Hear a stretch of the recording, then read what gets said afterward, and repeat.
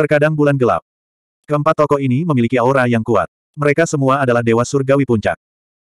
Terlebih lagi, mereka berempat bergerak dengan gerakan kaki misterius dengan pedang di tangan mereka. Mereka membentuk formasi pedang empat orang dan langsung menutup lingkungan Zuawan. Pada saat yang sama, Zuawan menyadari bahwa perasaan ilahi An Siulan, yang telah dia tarik kembali, sekali lagi terkunci pada dirinya. Di saat yang sama, suara yang menusuk udara terdengar dari belakangnya. Zuawan segera mengetahui bahwa An Siulan tidak berniat melepaskannya. Dia mungkin hanya mengulur waktu. Memikirkan hal ini, Zuawan segera menggunakan tiga teknik pedang, Sword Piercing Brambles, penampilan pertama Sword Radiance, dan Sun in the Sky. Bayangan pedang yang tak terhitung jumlahnya terbang dan menyerang formasi pedang empat orang. Harus dikatakan bahwa meskipun pedang patah di tangan Zuawan tidak terlihat besar, teknik pedang dao penghancuran jauh lebih kuat daripada pedang besilu. Jelas sekali, pedang ini jauh lebih kuat dari pedang besilu. Bang bang bang. Menggunakan tiga jurus pedang pada saat yang sama, dia berhasil memblokir formasi pedang gabungan dari empat dewa surgawi puncak. Pada saat yang sama, Zuawan berbalik menghadap An Siulan. Pada saat ini, An Siulan mengeluarkan gunting ekstrim itu lagi. Gunting itu memotong ruang di sekitar Zuawan dan ruang di sekitarnya runtuh. Kabut hitam menyebar dan membentuk jaring hitam, menjebak Zuawan di dalamnya. Zuawan menyipitkan matanya dan menggunakan Eye of Heaven's Devourer lagi. Petir hitam keunguan meledak menjadi untayan yang tak terhitung jumlahnya dan menyebar, menghancurkan jaring hitam di sekelilingnya. Pada saat ini, serangan An Siulan hendak mendarat. Zuawan mengangkat pedangnya dan nyala api hitam yang mengerikan keluar dari pedangnya. Bang! Zuawan mengerang dan mundur selusin langkah. Di sisi lain, An Siulan hanya mundur satu langkah dan terus menyerang Zuawan. An Siulan yang tercela ini. Raja Naga ini belum sepenuhnya menyatu dengan pedang yang patah dan tidak dapat sepenuhnya melepaskan kekuatan pedangnya. Jika tidak, Raja Naga ini akan menyiksanya sampai mati. Saat Zuawan mundur, suara omelan Xiao Hei terdengar, membual tanpa malu-malu. Saat Asura kegelapan terbang, Zuo Wen diam-diam menghitung jarak antara dia dan Asura kegelapan. Ketika anggrek budidaya gelap hanya berjarak 20 meter darinya, dan gunting raksasa hanya berjarak beberapa inci, Zuawan menembakkan jarum dewa penyerap jiwa lainnya dari sela alisnya. Kali ini, Zuawan langsung menyerah pada pertahanan. Menghadapi serangan gunting, dia dengan paksa mengeluarkan jarum dewa penyerap jiwa. Dia sangat jelas bahwa anggrek budidaya gelap tidaklah sederhana, dan itulah satu-satunya cara untuk mencapai efek yang tidak terduga, dan anggrek budidaya gelap akan menyukainya. Bang! Gunting hitam itu mendarat di pinggang Zuawan dan memotongnya. Suara logam terdengar dan An Siulan terkejut saat mengetahui bahwa guntingnya tidak dapat memotong pinggang Zuawan. Suara mendesing. Saat An Siulan dalam keadaan linglung, jarum dewa penyerap jiwa menembus udara dan menembus dahinya. Poci. Sebuah lubang berdarah muncul di antara alis An Siulan. Namun, kecepatan reaksi An Siulan sangat mengejutkan. Saat jarum ketuhanan penyerap jiwa menembus dahinya, dia menggunakan tangan kanannya untuk menekan jarum ketuhanan penyerap jiwa.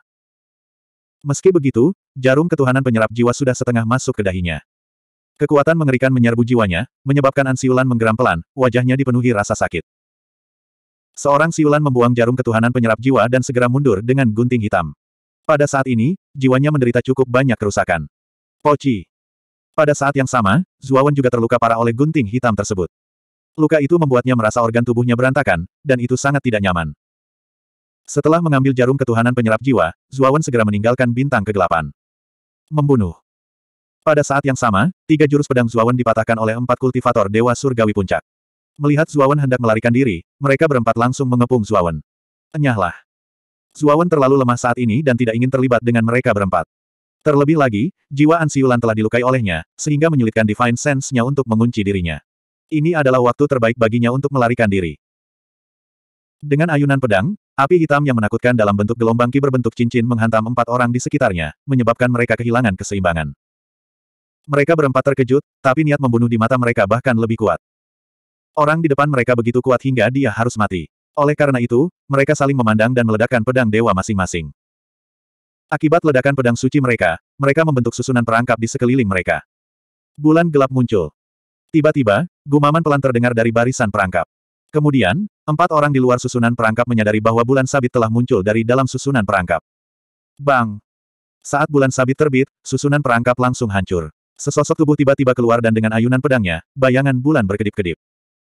Salah satu penggarap tertangkap basah dan dibingungkan oleh bayangan bulan yang berkelap-kelip.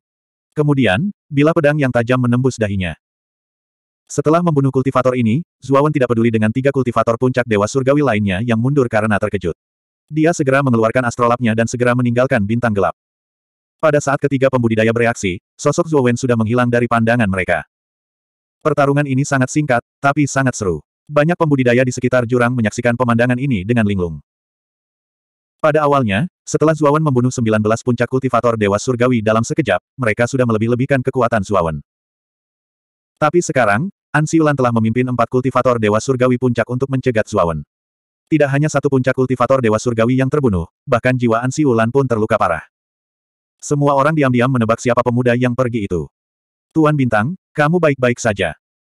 Tiga puncak kultivator Dewa Surgawi segera bergegas ke sisi Ansi Ulan dan bertanya dengan cemas. Pada saat ini, lubang berdarah di antara alis Ansi Ulan perlahan-lahan sembuh. Namun, Ansi Ulan tahu bahwa jarum ilahi asimilasi jiwa itu tidak sederhana. Ada kekuatan yang sangat aneh di dalamnya yang khusus menghancurkan jiwa. Hanya separuh jarum yang menembus jiwanya dan sudah melukai jiwanya dengan parah. Dia tidak dapat membayangkan apa jadinya jika jarum itu menembus seluruh jiwanya. Bahkan jika dia tidak mati, dia akan menjadi idiot. Ayo pergi. An Siulan berkata dengan penuh kebencian dan segera meninggalkan tempat itu. Dia harus kembali dan memulihkan jiwanya. Hanya tersisa satu setengah bulan sebelum dia pergi ke wilayah Burning Cloud. Dia harus memulihkan jiwanya sepenuhnya sebelum pergi ke wilayah awan terbakar. Kalau tidak, dia akan dirugikan saat pergi ke sana. Setelah meninggalkan bintang gelap, Zuawan langsung kembali ke pavilion di Long River Star Capital. Adik Long Wen, apa yang terjadi padamu? Siang Mengcun kebetulan melihat Zuawan yang pucat dan bertanya dengan heran. Zuawan ingin berbicara tetapi dia tidak bisa menahan diri untuk tidak mengeluarkan seteguk darah. Ketika Siang Mengcun melihat ini, dia segera mengeluarkan pil dan memasukkannya ke dalam mulut Zuawan. Dia berkata, ini adalah pil ilahi tingkat tiga, pil ginseng salju. Konsumsilah dengan cepat. Pil ini dapat sepenuhnya menekan luka di tubuh Anda. Zuawan ragu-ragu untuk beberapa saat tetapi pada akhirnya, dia masih meminum pil snow ginseng. Siang Mengcun membutuhkannya untuk pergi ke wilayah Burning Cloud. Dia tidak akan menyakitinya saat ini. Setelah mengonsumsi pil Snow Ginseng, luka Zuawan sedikit membaik. Setidaknya, tidak sulit baginya untuk berbicara. Zuawan tahu bahwa pil ginseng salju sangat efektif sehingga pasti sangat berharga. Dia tidak bisa menahan diri untuk tidak mengepalkan tinjunya ke arah Siang Mengcun. Pavilion Master Siang, terima kasih. Siang Mengcun melambaikan tangannya dan bertanya dengan rasa ingin tahu, adik Long Wen, apa yang terjadi padamu? Mengapa kamu berada dalam keadaan yang menyedihkan? Zuawan tersenyum dan berkata dengan santai, saya bertemu musuh di jalan dan bertarung dengannya. Setelah itu, saya membunuhnya dengan susah payah. Namun, saya juga menderita beberapa luka. Jadi begitu. Siang Mengcun mengangguk tetapi tidak bertanya lagi. Bagaimanapun, Zuawan hanyalah seorang demigod. Musuhnya mungkin adalah seorang demigod juga. Dia tidak terlalu tertarik dengan pertarungan antar demigod. Adik Long Wen, tidak ada banyak waktu tersisa sebelum kita pergi ke wilayah awan terbakar. Kamu harus memulihkan diri di pavilion untuk sementara waktu. Siang Mengcun menyarankan. Zuawan mengangguk. Lukanya tidak ringan sekarang. Terlebih lagi, dia telah menemukan Xiao Hei. Tentu saja, dia tidak akan berjalan-jalan dengan santai. Setelah memasuki ruangan yang diatur oleh Siang Mengcun, Zuawan memasuki pelatihan pengasingan. Di saat yang sama, dia juga ingin bertanya tentang asal-muasal pedang patah tersebut. Di dalam ruangan, pedang patah itu melayang di depan Zuawan. Zuawan berkata dengan sungguh-sungguh, Xiao Hei, ceritakan padaku tentang pengalamanmu beberapa tahun terakhir ini. Bagaimana kamu bisa melintasi langit berbintang dengan lima langkah percikan darah dan tiba di bintang gelap? Xiao Hei duduk di gagang pedang yang patah itu. Dia menghela nafas dan berkata, sebenarnya, saya menemukan sebuah tablet batu di bebatuan mengambang di dekat Heavenly Armor Star. Tablet batu itu sebenarnya berisi metode budidaya pedang ilahi. Saya segera mengetahui bahwa orang yang meninggalkan kata-kata di batu itu tablet pastinya adalah orang yang maha kuasa. Saya berlatih di bebatuan selama 20 tahun dan meningkatkan lima langkah percikan darah ke artefak ilahi surgawi tingkat rendah. Selain itu, saya juga mempelajari teknik langit melonjak. Bahkan tanpa astrolabe, saya mampu melintasi langit berbintang dengan teknik melonjak. Teknik langit. Setelah saya menguasai teknik langit melonjak, tablet batu itu hancur dan hanya beberapa kata yang tertinggal. Ide umumnya adalah agar saya pergi ke bintang kegelapan dan menemukan pedang api guntur. Dikatakan bahwa pedang api guntur berisi sisa warisan. Jadi, aku memasuki bintang kegelapan dan menemukan pedang api guntur. Namun, semua ini adalah jebakan yang dibuat oleh pedang api guntur. Roh artefak pedang api guntur sebenarnya ingin melahapku untuk memperkuat dirinya sendiri. Untungnya, roh artefak pedang api guntur terlalu lemah. Kami bertarung selama beberapa waktu. Puluhan tahun. Akhirnya, setengah bulan yang lalu, aku mengalahkan pedang api guntur. Namun, karena itu, roh artefak pedang api guntur menghilang. Formasi penyembunyian di sekitar pedang api guntur rusak dan lokasi jurang terungkap. Anda harus bisa menebak apa yang terjadi selanjutnya. Banyak pembudidaya dari bintang kegelapan datang untuk mencari harta karun itu. Bahkan orang-orang dari istana bintang kegelapan pun datang. Jika bukan karena Master Naga ini mempelajari teknik rahasia untuk menyembunyikan auranya dari pedang api guntur, aku mungkin tidak akan bisa menipu mereka. Petik 2 Petik 2 Mendengar penuturan Xiao Hei, Zuawan juga secara kasar memahami apa yang dialami Xiao Hei. Namun, dia terkejut dengan fakta bahwa apa yang disebut roh artefak pedang api guntur ini sebenarnya mampu berkultivasi sendiri. Lebih jauh lagi, ia bahkan tahu cara menipu orang lain untuk melahap artefak spirit lainnya. Benar-benar tidak terbayangkan. Namun, di saat yang sama, dia juga ikut berbahagia untuk Xiao Hei. Dia tahu bahwa Xiao Hei telah memperoleh warisan pedang api guntur dan mampu mengolahnya. Prospek masa depannya pasti tidak terbatas. 1932. Pedang api guntur. Metode budidaya pedang dewa yang dibicarakan Xiao Hei sangat ajaib. Dikatakan bahwa setelah roh senjata dikultivasikan, tidak hanya dapat meningkatkan level pedang dewa, tetapi juga dapat memiliki keterampilan dewa sendiri. Dengan kata lain, Xiao Hei tidak membutuhkan Zuawan untuk mengendalikannya. Itu bisa mengendalikan pedang api guntur dan menggunakan semua jenis keterampilan ilahi yang kuat. Dengan level pedang api guntur saat ini, jika Xiao Hei sepenuhnya menyerap dan mengendalikan pedang api guntur, ia bisa mengeluarkan kekuatan dewa surgawi puncak. Ketika saatnya tiba, jika dia bekerja sama dengan pedang api guntur, tidak akan terlalu sulit untuk menghadapi anggrek budidaya gelap lagi. Xiao Hei, berapa lama waktu yang kamu butuhkan untuk menyatu sepenuhnya dengan pedang api guntur? Zuawan tiba-tiba bertanya pada Xiao Hei. Xiao Hei merenung sejenak dan berkata, lebih dari sebulan. Ketika saatnya tiba, bahkan Dewa Puncak Surgawi pun tidak akan bisa menandingiku. Zuawan mengangguk dan memasukkan pedang api guntur ke dalam cincin roh. Kali ini, dengan bantuan Xiao Hei, dia lebih percaya diri untuk pergi ke wilayah awan terbakar dalam waktu satu setengah bulan. Jika dia bisa menemukan sembilan bintang di wilayah awan terbakar, dia bisa sepenuhnya menjadi dewa surgawi. Ketika keempat wakil Raja Bintang bekerja sama, Zuawan tidak perlu mengkhawatirkan mereka. Bahkan jika itu adalah dewa sejati, Zuawan tidak takut sama sekali. Saat Zuawan mengasingkan diri untuk menyembuhkan, Pande duduk di aula dengan ekspresi jelek. Yurong dan Zhou Wen berlutut di depan Pande, bahkan tidak berani bernapas. Tuan muda, ini tidak ada hubungannya dengan kami. Terakhir kali, pria di pavilion Douya itu tidak sederhana. Dia memiliki keterampilan ilusi yang sangat kuat. Kami berdua terpesona dan menjadi bingung, jadi, Yurong dan Zhou Wen gemetar saat mereka berbicara. Ekspresi Pande masih jelek. Dia melambaikan tangannya dan berkata, bangunlah. Karena kalian berdua begitu mudah jatuh cinta, aku khawatir pria itu bukanlah demigod, tapi serigala berbulu domba. Sebelum Pande menyelesaikan kata-katanya, bayangan hitam diam-diam mendarat di aula. Ini adalah pria parubaya dengan mata dingin. Dia mengenakan pakaian kulit berwarna coklat dan memiliki pedang panjang di punggungnya. Dia memandang Pande dengan acuh tak acuh dan tidak memiliki niat sedikit pun untuk memberi hormat. Tuan Muda Pande, Tuan Pantian akan kembali dalam beberapa bulan. Apakah Anda juga akan kembali ke galaksi matahari emas? Pria parubaya itu bertanya. Pande mengerutkan alisnya dan menggelengkan kepalanya, aku harus membunuh bajingan yang mempermalukanku terlebih dahulu. Juga, Pan Hua, sudahkah kamu menyelidiki masalah yang aku minta kamu lakukan? Pria parubaya itu mengangguk dan berkata, saya sudah menyelidikinya. Orang itu bernama Long Wen. Saat ini, dia dilindungi oleh Siang Mengcun. Sangat sulit untuk membunuhnya. Pande merasa tidak senang dan berkata, Siang Mengcun hanyalah dewa surgawi puncak, kan? Mungkinkah dewa sejati palsu sepertimu takut padanya? Pria parubaya itu mencibir, Siang Mengcun tidak sederhana. Meskipun dia hanya berada di puncak alam dewa surgawi, dia sangat kuat. Jika tidak, menurutmu apakah dia akan mampu membangun kekuatan sebesar itu di alam utama? Kota. Pan De terkejut. Segera setelah itu, dia mengertakkan gigi dan mengeluarkan potongan batu giok dari dadanya. Dia berkata, strip giok ini berisi informasi tentang jus roh api. Jika Anda dapat membantu saya membunuh Long Wen, saya akan memberi Anda informasi tentang jus roh api. Apa, jus roh api? Pan Hua langsung kehilangan ketenangannya. Dikatakan bahwa jus roh api dapat meningkatkan peluang untuk maju ke alam dewa sejati. Itu memiliki manfaat yang tak terbayangkan bagi dewa surgawi puncak dan dewa sejati palsu. Apalagi barang ini sangat langka. Itu adalah benda suci yang tak ternilai harganya di pasaran. Setelah dijual, pada dasarnya akan diambil. Sekarang, Pande ini sebenarnya tahu di mana menemukan jus roh api. Tuan muda Pande, berikan saya potongan batu giok itu. Saya akan memikirkan cara untuk membunuh Long Wen. Pan Hua bertanya dengan tatapan menyala-nyala. Pande tersenyum dan melemparkan potongan batu giok ke Pan Hua, berkata, coba lihat. Kali ini, jus roh api berhubungan dengan Long Wen. Dikatakan bahwa Siang Mengcun dari kesepakatan besar mengundang empat wakil Raja Bintang ke Blazing wilayah Cloud untuk mengambil jus roh api. Saya khawatir alasan mengapa Siang Mengcun melindungi Long Wen terkait dengan jus roh api. Saya khawatir dia bahkan akan membawa Long Wen ke wilayah awan berkobar.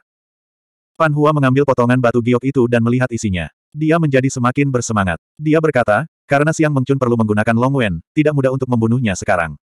Namun, setelah Long Wen habis, Siang Mengcun tidak akan ikut campur dalam urusan orang lain. Pan De mengangguk dan melambaikan tangannya. Pan Hua pergi. Jelas sekali, dia berencana untuk tinggal di Long River Galaxy untuk mencari jus api. Satu setengah bulan kemudian, luka Zuawan hampir sembuh. Sebenarnya itu berkat efek pil ginseng salju yang diberikan Siang Mengcun padanya. Terlebih lagi, Xiao Hei telah sepenuhnya bergabung dengan pedang api guntur. Meskipun dia tidak yakin seberapa kuat Xiao Hei, dari ekspresi bangga Xiao Hei, dia tahu kalau itu tidak lemah. Pada saat yang sama, Zuawan juga telah menguasai jurus keempat seni pedang Dao Penghancuran. Kekuatan jurus pedang ini lebih kuat dari sebulan yang lalu. Zuawan mengeluarkan pedang besi Lu dan membawanya di punggungnya. Lalu, dia keluar dari kamar. Di luar halaman, Siang Mengcun menatapnya sambil tersenyum. Di langit berbintang di luar Long River Galaxy, pelangi tipis terbang dan berhenti di luar Long River Galaxy. Setelah diperiksa lebih dekat, pelangi adalah kapal terbang yang sangat mewah, artefak dewa. Delapan sosok berdiri di dek kapal terbang. Empat sosok berdiri dengan gagah di haluan kapal, sedangkan empat lainnya berdiri di belakang. Mereka seharusnya menjadi bawahan dari empat sosok di depan. Seorang lelaki tua berwajah merah memandang pria berbaju hitam di sampingnya dan berkata, An Siulan, ku dengar satu setengah bulan yang lalu, jiwamu terluka parah oleh seorang pesilat setengah dewa. Bagaimana kamu bisa begitu ceroboh? Ansiulan yang berarmor hitam menatap lelaki tua itu dengan tatapan muram dan berkata, Huo Sang, sejak kapan kamu begitu peduli? Apa hubungannya denganmu apakah jiwaku terluka atau tidak? Huo Sang tersenyum tipis dan berkata, tentu saja itu tidak masalah. Saya hanya ingin tahu. Sebagai penguasa bintang-bintang kegelapan, bagaimana Anda bisa disakiti oleh seorang pesilat setengah dewa belaka? Saya selalu berpikir itu hanya rumor. Sepertinya tidak. Orang itu tidak sederhana. Jika aku tidak salah, dia seharusnya memiliki teknik penyembunyian aura yang sangat kuat. Kekuatan sejatinya berada di atas puncak panggung Dewa Langit, dekat dengan panggung Dewa Sejati Semu, Ansi Ulan berkata dengan lemah. Wanita berambut putih itu memandang Ansi Ulan dan berkata, ini pertama kalinya aku mendengar seseorang seperti Ansi Ulan memuji seseorang.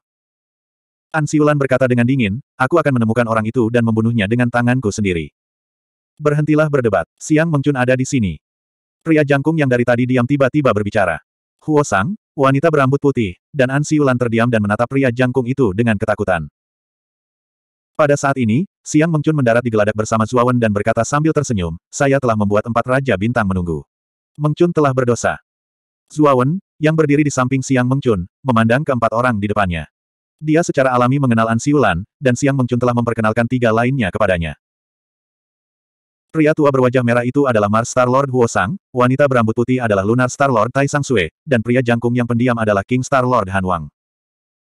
Harus disebutkan bahwa Raja Bintang Master Han Wang adalah yang paling kuat dari empat wakil Master Bintang. Tiga wakil Star Master lainnya sangat mewaspadai dia. Setengah dewa, Pavilion Lord Siang, apakah orang yang Anda bawa benar-benar berguna? Han Wang memperhatikan Zuawan di samping Siang Mengcun dan mengerutkan kening. Siang Mengcun melambaikan tangannya dan berkata, jangan khawatir. Meskipun kultivasi Long Wen lemah, kesadaran ilahinya sangat kuat. Dia juga sangat ahli dalam ilusi. Di Pavilion Grace, dia menggunakan ilusi untuk membingungkan dua panggung Dewa Langit Tengah Petani. Zuawan menghela napas lega. Untungnya, dia tidak menggunakan ilusi pada bintang gelap. Kalau tidak, Ansi Ulan pasti akan curiga. Membingungkan dua penggarap panggung Dewa Langit Tengah. Tidak buruk. Han Wang memandang Zuawan dan tidak mengatakan apa pun lagi. Ansi Ulan, sebaliknya, terus memandang Zuawan seolah-olah dia sedang mencoba menemukan sesuatu yang istimewa tentang dirinya. Ansiulan, mungkinkah orang yang melukai akal sehatmu adalah pesilat setengah dewa kecil ini? Huo Sang tiba-tiba berkata dengan nada yang aneh. Seorang siulan mendengus dan berkata, aura orang ini benar-benar berbeda. Bukan dia. Terakhir kali, orang itu juga tidak pandai dalam ilusi. Tidak perlu berdebat. Kali ini, kita akan pergi ke wilayah awan terbakar untuk mendapatkan jus roh api. Semua orang harus bekerja sama. Jika tidak, tidak akan ada seorang pun yang bisa memasuki wilayah awan terbakar. Han Wang berkata dengan sungguh-sungguh. Dengan kata-kata Han Wang, tidak ada yang mengatakan apa pun lagi. Kemudian, kapal berangkat dan meninggalkan Long River Star. Tidak lama setelah kapal berangkat, Pan Hu berdiri di atas astrolabnya dan diam-diam mengikuti di belakang kapal. Pan Hu sangat berhati-hati. Jarak antara dia dan kapal itu sangat jauh. Bahkan dengan perasaan ilahi yang kuat dari dewa sejati palsu, sulit untuk mendeteksi dia mengikuti di belakang. Setengah bulan kemudian, kapal tiba di wilayah awan terbakar di bagian selatan sistem bintang Sungai Panjang. Jadi ini adalah wilayah awan terbakar. Zuawan berdiri di geladak dan melihat wilayah besar di depannya yang tampak seperti wilayah awan terbakar. Wilayah ini sangat luas dan dipenuhi bintang. Terlebih lagi, magma mengalir di sekitar bintang-bintang ini seolah-olah sedang terbakar. Kelihatannya sangat aneh. Wilayah awan terbakar adalah tempat yang sangat berbahaya. Wilayah ini terdiri dari bintang-bintang yang menakutkan. Semakin dalam Anda pergi, semakin banyak bintang yang ada. Bintang-bintang juga sangat kuat. Dewa surgawi biasa akan mati jika mereka masuk.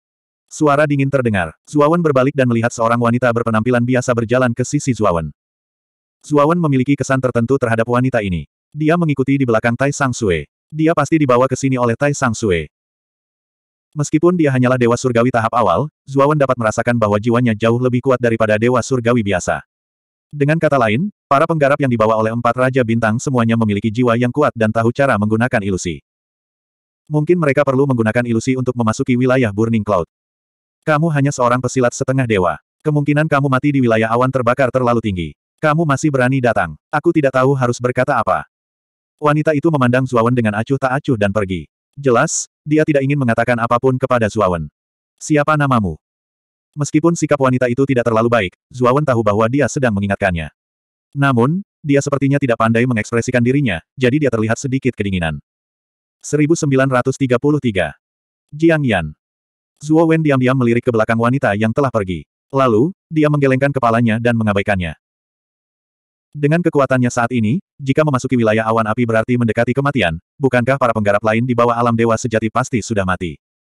Namun, Zuawan tidak menjelaskannya. Kali ini, dia berencana untuk menyempurnakan sembilan bintang di wilayah awan api. Setelah maju ke alam dewa surgawi, dia berencana untuk meninggalkan galaksi sungai panjang dan membawa bintang armor surgawi ke domain Brahma besar. Di dekat wilayah awan api, ada banyak benua meteorit terapung. Benua-benua ini dipenuhi oleh banyak petani, dan terdapat tenda-tenda sederhana yang didirikan sebagai toko sederhana untuk menjual segala macam barang. Adik Longwen, benua meteorit ini adalah tempat berkumpul sementara di wilayah awan api. Banyak penggarap akan menjual barang-barang tidak berguna yang mereka peroleh di wilayah awan api di sini. Pada saat yang sama, banyak penggarap akan beristirahat di benua meteorit atau menyiapkan bahan untuk memasuki wilayah Fury Cloud. Siang Mengcun berkata sambil tersenyum. Saat ini, pesawat luar angkasa telah mendarat di benua meteorit terdekat. Kemudian, sekelompok orang keluar dari pesawat luar angkasa. Suhu di wilayah awan api terlalu mengerikan.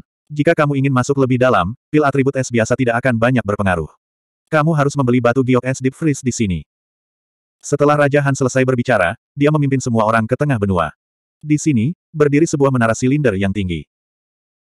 Raja Han memasuki menara sendirian dan bernegosiasi sebentar, lalu keluar lagi dengan delapan buah batu giok putih di tangannya dan membagikannya kepada semua orang. Zuo Wen mengambil batu giok putih itu dan menemukan bahwa batu itu sebenarnya memancarkan ki dingin yang pekat. Ki dingin ini sangat tidak biasa. Setelah bersentuhan dengan kulitnya, itu benar-benar menembus jauh ke dalam meridiannya dan menempel pada permukaan meridiannya. Ayo masuk. Setelah membagikan Deep Freeze Ice Jades, kata Han Wang, lalu memimpin ketujuh orang itu dan bergegas menuju wilayah Burning Cloud di depan. Ada banyak jalur di sekitar wilayah Fury Cloud. Orang-orang masuk dan keluar dari lorong ini, dan itu cukup ramai. Bang! Tiba-tiba, seorang kultivator yang keluar dari lorong itu jatuh ke tanah. Wajah orang ini sangat merah dan matanya merah. Ekspresinya sangat menyakitkan. Ah! Orang itu bangkit dan berjalan beberapa langkah. Tiba-tiba, dia berteriak. Api muncul dari tubuhnya dan dia terbakar menjadi abu. Racun api di tubuh orang ini terlalu kuat, dan dia membakar dirinya sendiri sampai mati.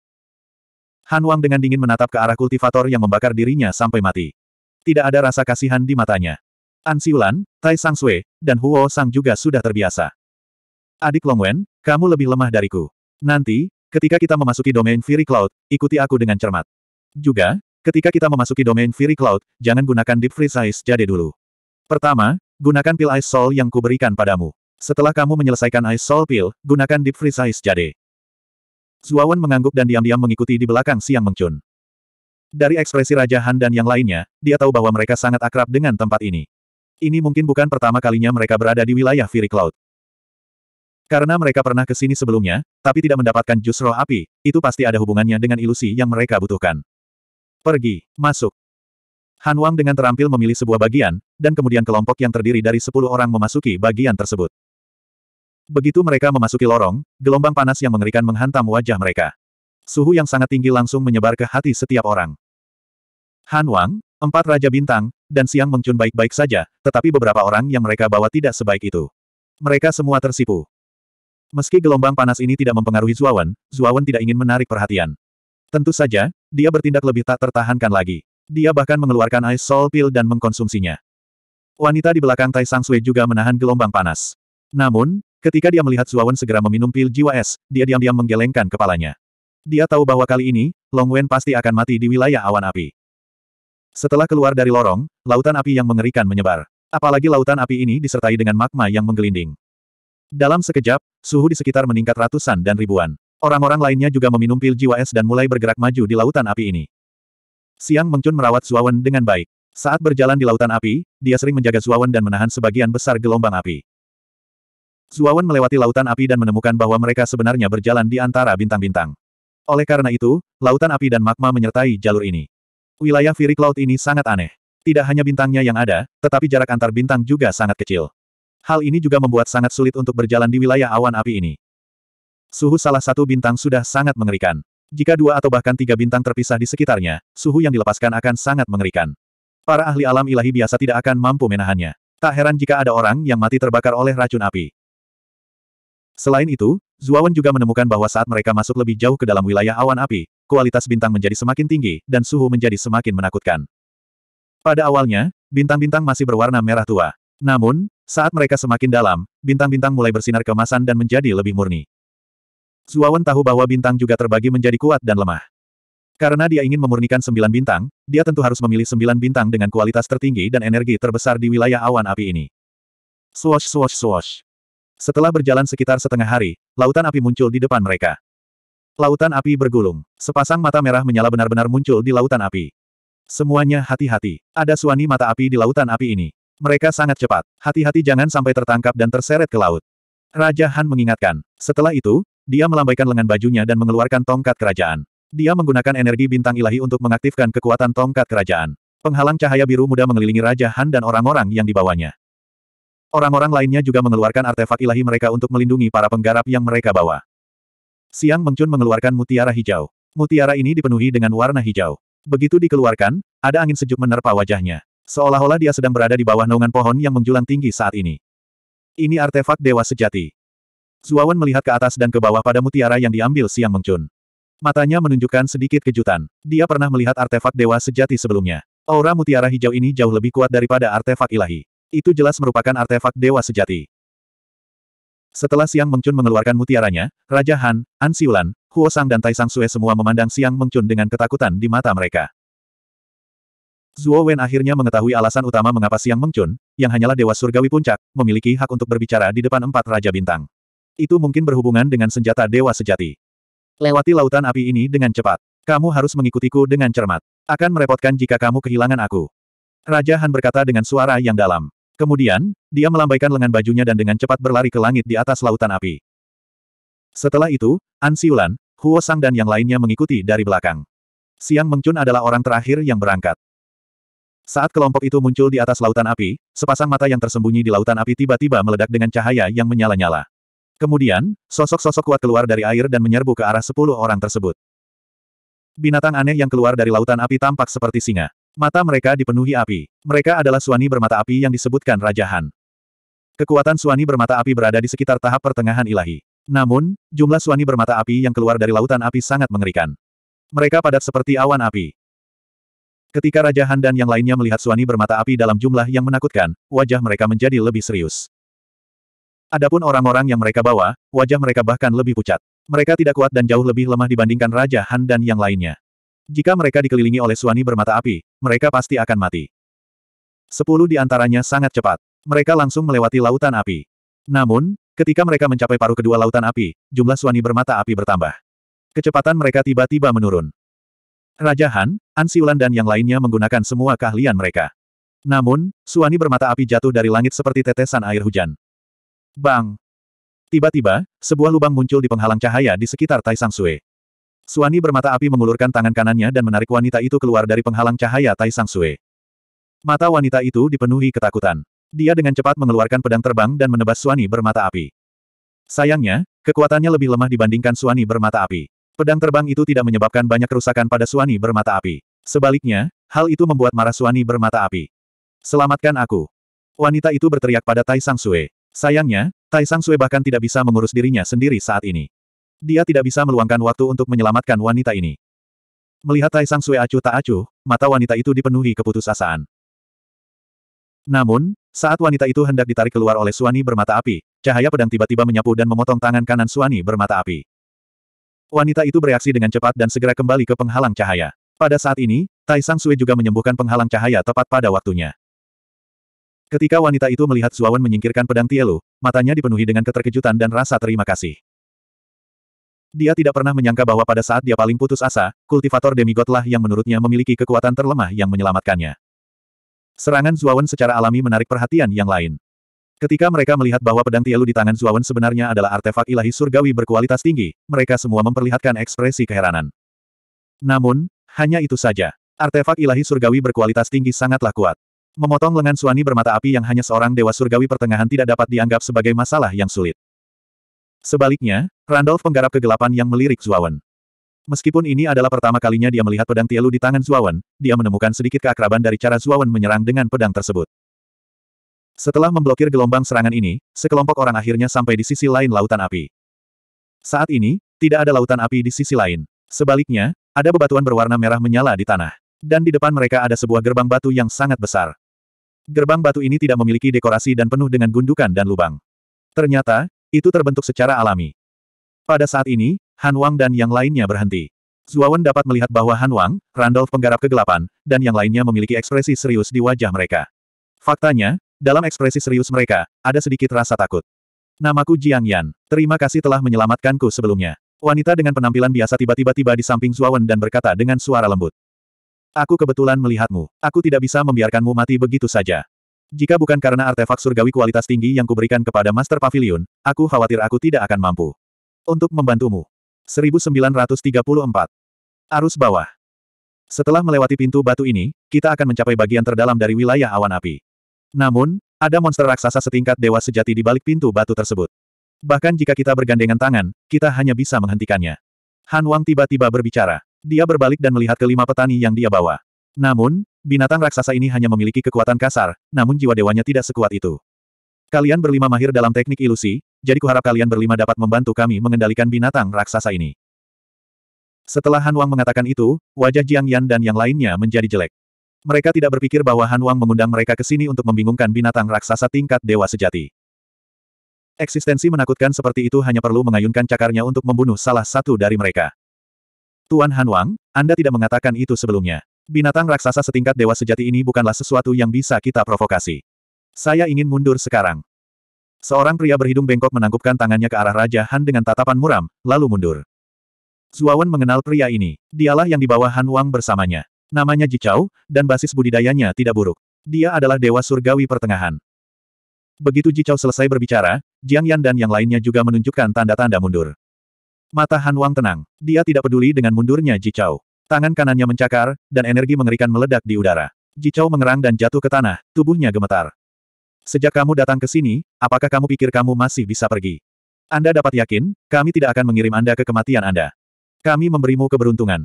Setelah Anda membantu kami menahan binatang raksasa itu, saat kami keluar, kami akan memberi Anda sebagian dari jus roh api. Han Wang melanjutkan. Tiga orang lainnya yang awalnya berpikir untuk mundur semuanya mengungkapkan ekspresi yang kuat. Pria berhidung mancung itu berdiri dan berdiri di samping dengan ekspresi muram. Dia tidak mengatakan apa pun. Baiklah, kita akan membuka pintu batu itu sekarang.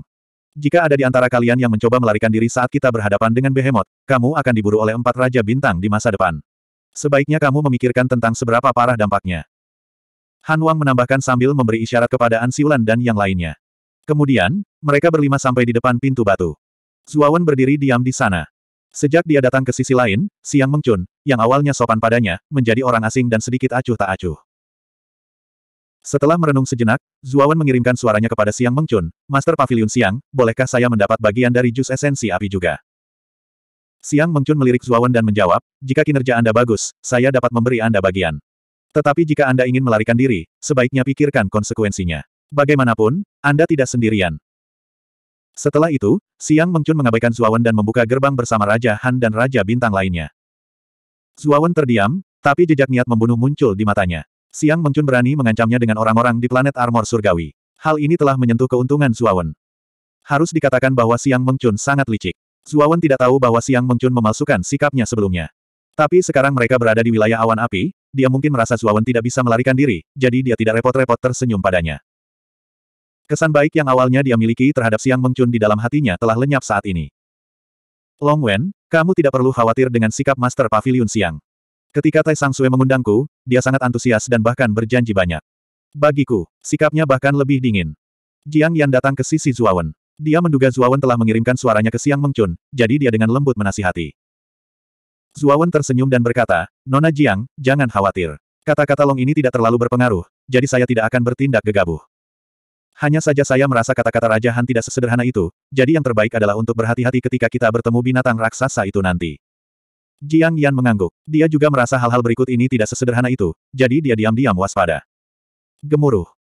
Dengan suara gemuruh, gerbang batu di depan mereka perlahan terbuka. Kemudian, gelombang panas yang lebih mengerikan daripada yang terjadi di sini. Bahkan ada nyala api di gelombang panas ini, yang terlihat sangat aneh dan menakutkan. Ketika gelombang panas menerpa mereka, wajah Jiang Yan memerah, dan dia dengan cepat mengeluarkan Deep Freeze Ice Jade. Tidak hanya Jiang Yan, Ji Chao dan tiga lainnya juga mengeluarkan Deep Freeze Ice Jades mereka, dan Suawen tidak terkecuali. Mengaum. Yang terjadi selanjutnya adalah raungan yang menakutkan, dan kemudian tangan raksasa menakutkan yang menutupi langit terulur dari gerbang batu, meraih Raja Han dan empat orang lainnya yang membuka gerbang batu. Tangan itu dikelilingi oleh api yang berkobar, dan api ini tidak berwarna merah tua, melainkan emas, tampak sangat menyilaukan. Blokir. Raja Han meraung dan mengeluarkan tongkat di tangannya. Layar cahaya biru muda itu seperti bilah paling tajam, menghantam tangan raksasa yang menyala-nyala itu dengan keras. Dark Cultivation Lan mengeluarkan gunting raksasa, Huo Sang mengeluarkan tombak panjang yang memuntahkan api biru tua, Tai Sang Sui mengeluarkan pedang panjang dengan kepingan salju menari di udara, dan Siang Mengcun mengeluarkan alat dewa sejati mutiara hijau. Dengan mereka berlima bekerja bersama, kekuatan mereka tidak lebih lemah dari tangan raksasa yang menyala-nyala itu. Dengan gemuruh, tangan raksasa yang menyala itu dihadang oleh mereka berlima. Gemuruh. Tiba-tiba, suara empat kuku yang menginjak tanah terdengar dari balik gerbang batu, dan suara ini semakin keras. Kemudian, bayangan raksasa tiba-tiba membuka ruang di belakang gerbang batu, dan muncul di tepi lautan api. Zuawan kemudian melihat dengan jelas bahwa binatang raksasa menyala yang muncul di depan gerbang batu itu tingginya seribu kaki, dengan dua pasang tanduk di kepalanya, dan penampilannya mirip dengan kerbau. Dengan setiap langkah yang diambil, seluruh tanah berguncang tiga kali, dan aura di tubuhnya sama menakutkannya dengan lautan.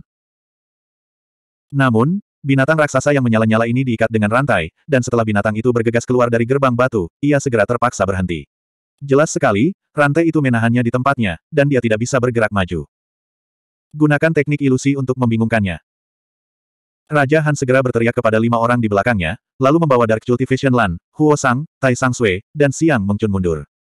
Raja Han, ingat janjimu. Pria berhidung bengkok, Ji Chao, mendengus dingin, dan segera membuka matanya, segera menggunakan teknik ilusi. Dengan Ji Chao yang memimpin, Jiang Yan dan dua lainnya juga menggunakan teknik ilusi mereka.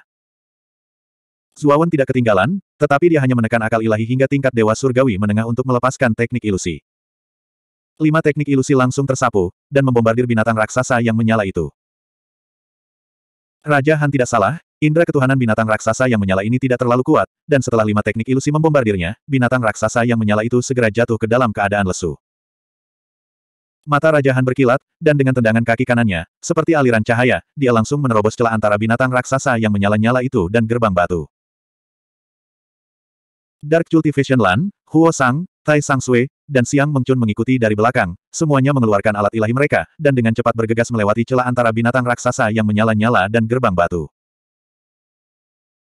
Pria berhidung bengkok, Ji Chao, ragu-ragu, mengertakkan gigi, dan dengan tegas menyerah untuk terus menggunakan teknik ilusi, dan kemudian dengan tendangan kaki kanannya, dia bergegas menuju celah di antara binatang raksasa yang menyala-nyala itu. Ji Chao, kamu. Jiang Yan segera menebak niat Ji Chao, dan tidak bisa menahan diri untuk tidak berteriak kaget dan marah.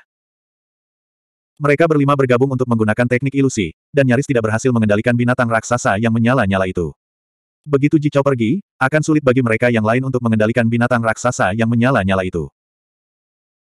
Benar saja, saat Ji Chao bergegas menuju celah itu, binatang raksasa menyala yang awalnya terperangkap dalam ilusi itu meraung, dan matanya yang awalnya bingung perlahan menjadi jelas. Ledakan. Binatang raksasa yang menyala-nyala itu memandang Ji Chao yang masuk dengan bingung, dan dengan santai menamparnya dengan telapak tangan kanannya. Ji Chao sangat ketakutan, dia tidak menyangka binatang raksasa yang menyala itu akan bangun begitu cepat, dan buru-buru berhenti dan berbalik untuk melarikan diri. Peng! Sayangnya, perbedaan antara Ji Chao dan binatang raksasa yang menyala itu terlalu besar, dan telapak tangan binatang raksasa yang menyala itu menghancurkan Ji Chao hingga berkeping-keping, dan dia sangat mati. Dengan kematian Ji Chao, binatang raksasa yang menyala itu segera terbangun, dan kemudian meraung ke arah langit, dan gelombang suara yang kuat menyebar, menyebabkan Jiang Yan dan dua lainnya memuntahkan seteguk darah, wajah mereka pucat. Pada di saat yang sama, kaki kanan binatang raksasa yang menyala itu menginjak, dan benar-benar melompat keluar dari gerbang batu, bergegas menuju pantai. Apa yang sedang terjadi? Binatang raksasa yang menyala-nyala ini jelas terikat dengan rantai, bagaimana ia bisa melompat keluar dari gerbang batu? Wajah Jiang Yan pucat, dan dia tidak bisa mempercayainya dan bergumam dengan suara rendah. Poci.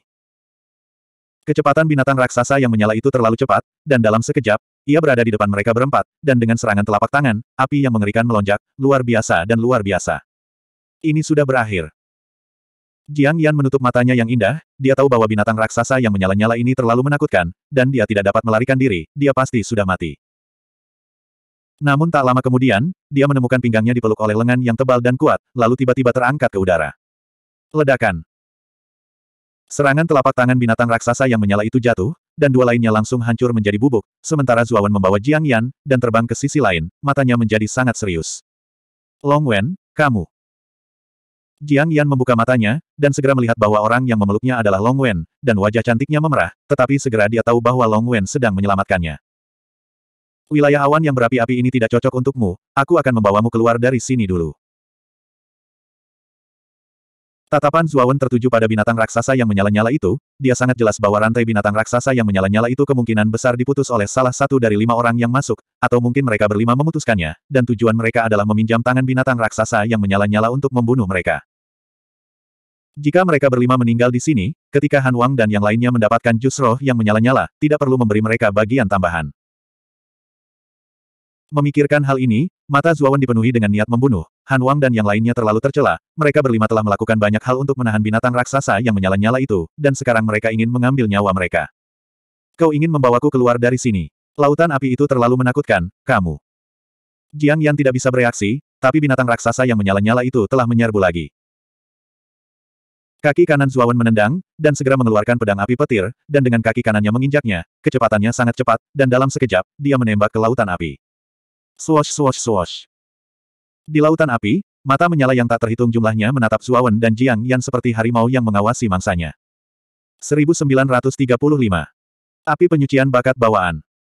Menatap mata api Suani yang langsung terbunuh oleh api hitam, rahang Jiang Yan ternganga. Dia sangat terkejut hingga tidak bisa berkata-kata. Kakak Long, kamu ingin memasuki wilayah dalam wilayah awan api. Jiang Yan juga orang yang cerdas. Sebelumnya, Zuawan hanya mengatakan bahwa dia akan mengirimnya kembali ke pantai seberang, tetapi tidak menyebutkan dirinya sendiri. Dia sudah bisa menebak bahwa Zuawan ingin memasuki wilayah dalam wilayah awan api. Tidak hanya itu, dari kekuatan yang ditunjukkan Zuawan, Jiang Yan tentu saja tidak akan memperlakukan Zuawan sebagai demigod. Zuawan mengangguk, saya datang ke wilayah awan api kali ini karena ada yang harus saya lakukan. Oleh karena itu, saya harus memasuki wilayah dalam. Mata indah Jiang Yan berkedip. Sambil mengertakkan giginya, dia mengeluarkan secarik batu giok dan memberikannya kepada Zuawan. Kakak Zuo, slip giok ini mencatat reruntuhan kuno di wilayah dalam wilayah awan api. Reruntuhan kuno ini berisi warisan dari ahli surgawi kekosongan tertinggi. Putriku tidak kompeten dan tidak dapat memasuki wilayah dalam wilayah awan api. Wilayah Cloud. Saya hanya bisa memberikannya kepada kakak Zuo. Zuawan menerima slip giok dan menatap Jiang Yan dengan heran. Dia tidak menyangka Jiang Yan akan mendapatkan batu giok seperti itu padanya. Kakak Long pasti sangat bingung. Slip giok ini tidak aku peroleh, tapi diwariskan oleh leluhurku. Saat itu, klan Jiangku juga memiliki leluhur dewa sejati palsu. Nenek moyang ini sering berkeliaran di wilayah awan api. Secara kebetulan, dia berhasil menemukan batu giok ini di pasar di luar wilayah Fury Cloud. Saat dia berbicara sampai di sini, mata indah Jiang Yan meredup. Sayangnya, untuk mencari reruntuhan kuno, leluhurku memasuki wilayah awan api sendirian. Pada akhirnya, Keberadaannya tidak diketahui. Kali ini, aku datang ke sini karena aku ingin mengandalkan Tai Sang Sue untuk memasuki wilayah awan api. Untuk mencarinya. Namun, saya tidak menyangka bahwa Tai Sang Sue dan yang lainnya. Zuawan menyimpan slip giok itu dan dengan tenang bertanya, Nona Jiang, saya tidak akan menerima slip giok ini dengan cuma-cuma. Jika apa yang tercatat di slip giok ini benar, apa yang Anda inginkan? Zuawan sangat jelas bahwa tidak ada makan siang gratis di dunia ini. Karena Jiang Yan telah menyerahkan slip giok ini kepadanya, itu pasti tidak gratis. Mendengar Zuawan menyebutkannya, hati Jiang Yan menjadi rileks. Dia paling takut Zuawan akan mengambil batu giok itu untuk dirinya sendiri dan tidak memberinya imbalan apa pun. Untungnya, dia telah berhubungan dengan Zuawan selama periode waktu ini dan tahu bahwa Zuawan bukanlah orang yang tidak tahu berterima kasih. Oleh karena itu, dia memutuskan untuk mencoba peruntungannya dan mengeluarkan slip giok tersebut. Jika kakak Long bisa memasuki reruntuhan kuno, bisakah kamu memberiku jus roh api dan percikan api dewa? Selain itu, jika kami dapat menemukan sisa-sisa nenek moyang saya, saya harap kami dapat membawanya kembali. Namanya Jiang Su. Jiang Yan bertanya dengan ragu. Zuawan merenung sejenak dan mengangguk. Baiklah. Pada saat ini, Zuawan telah menginjak pedang api petir dan melewati lautan api, mendarat di sisi lain lautan api.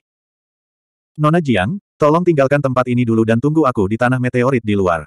Aku akan mencarimu saat aku keluar. Setelah berbicara, Zuawan sekali lagi menginjak pedang api petir dan berubah menjadi pelangi saat dia kembali. Binatang api yang menakutkan itu tidak lagi mengejarnya setelah mencapai pantai.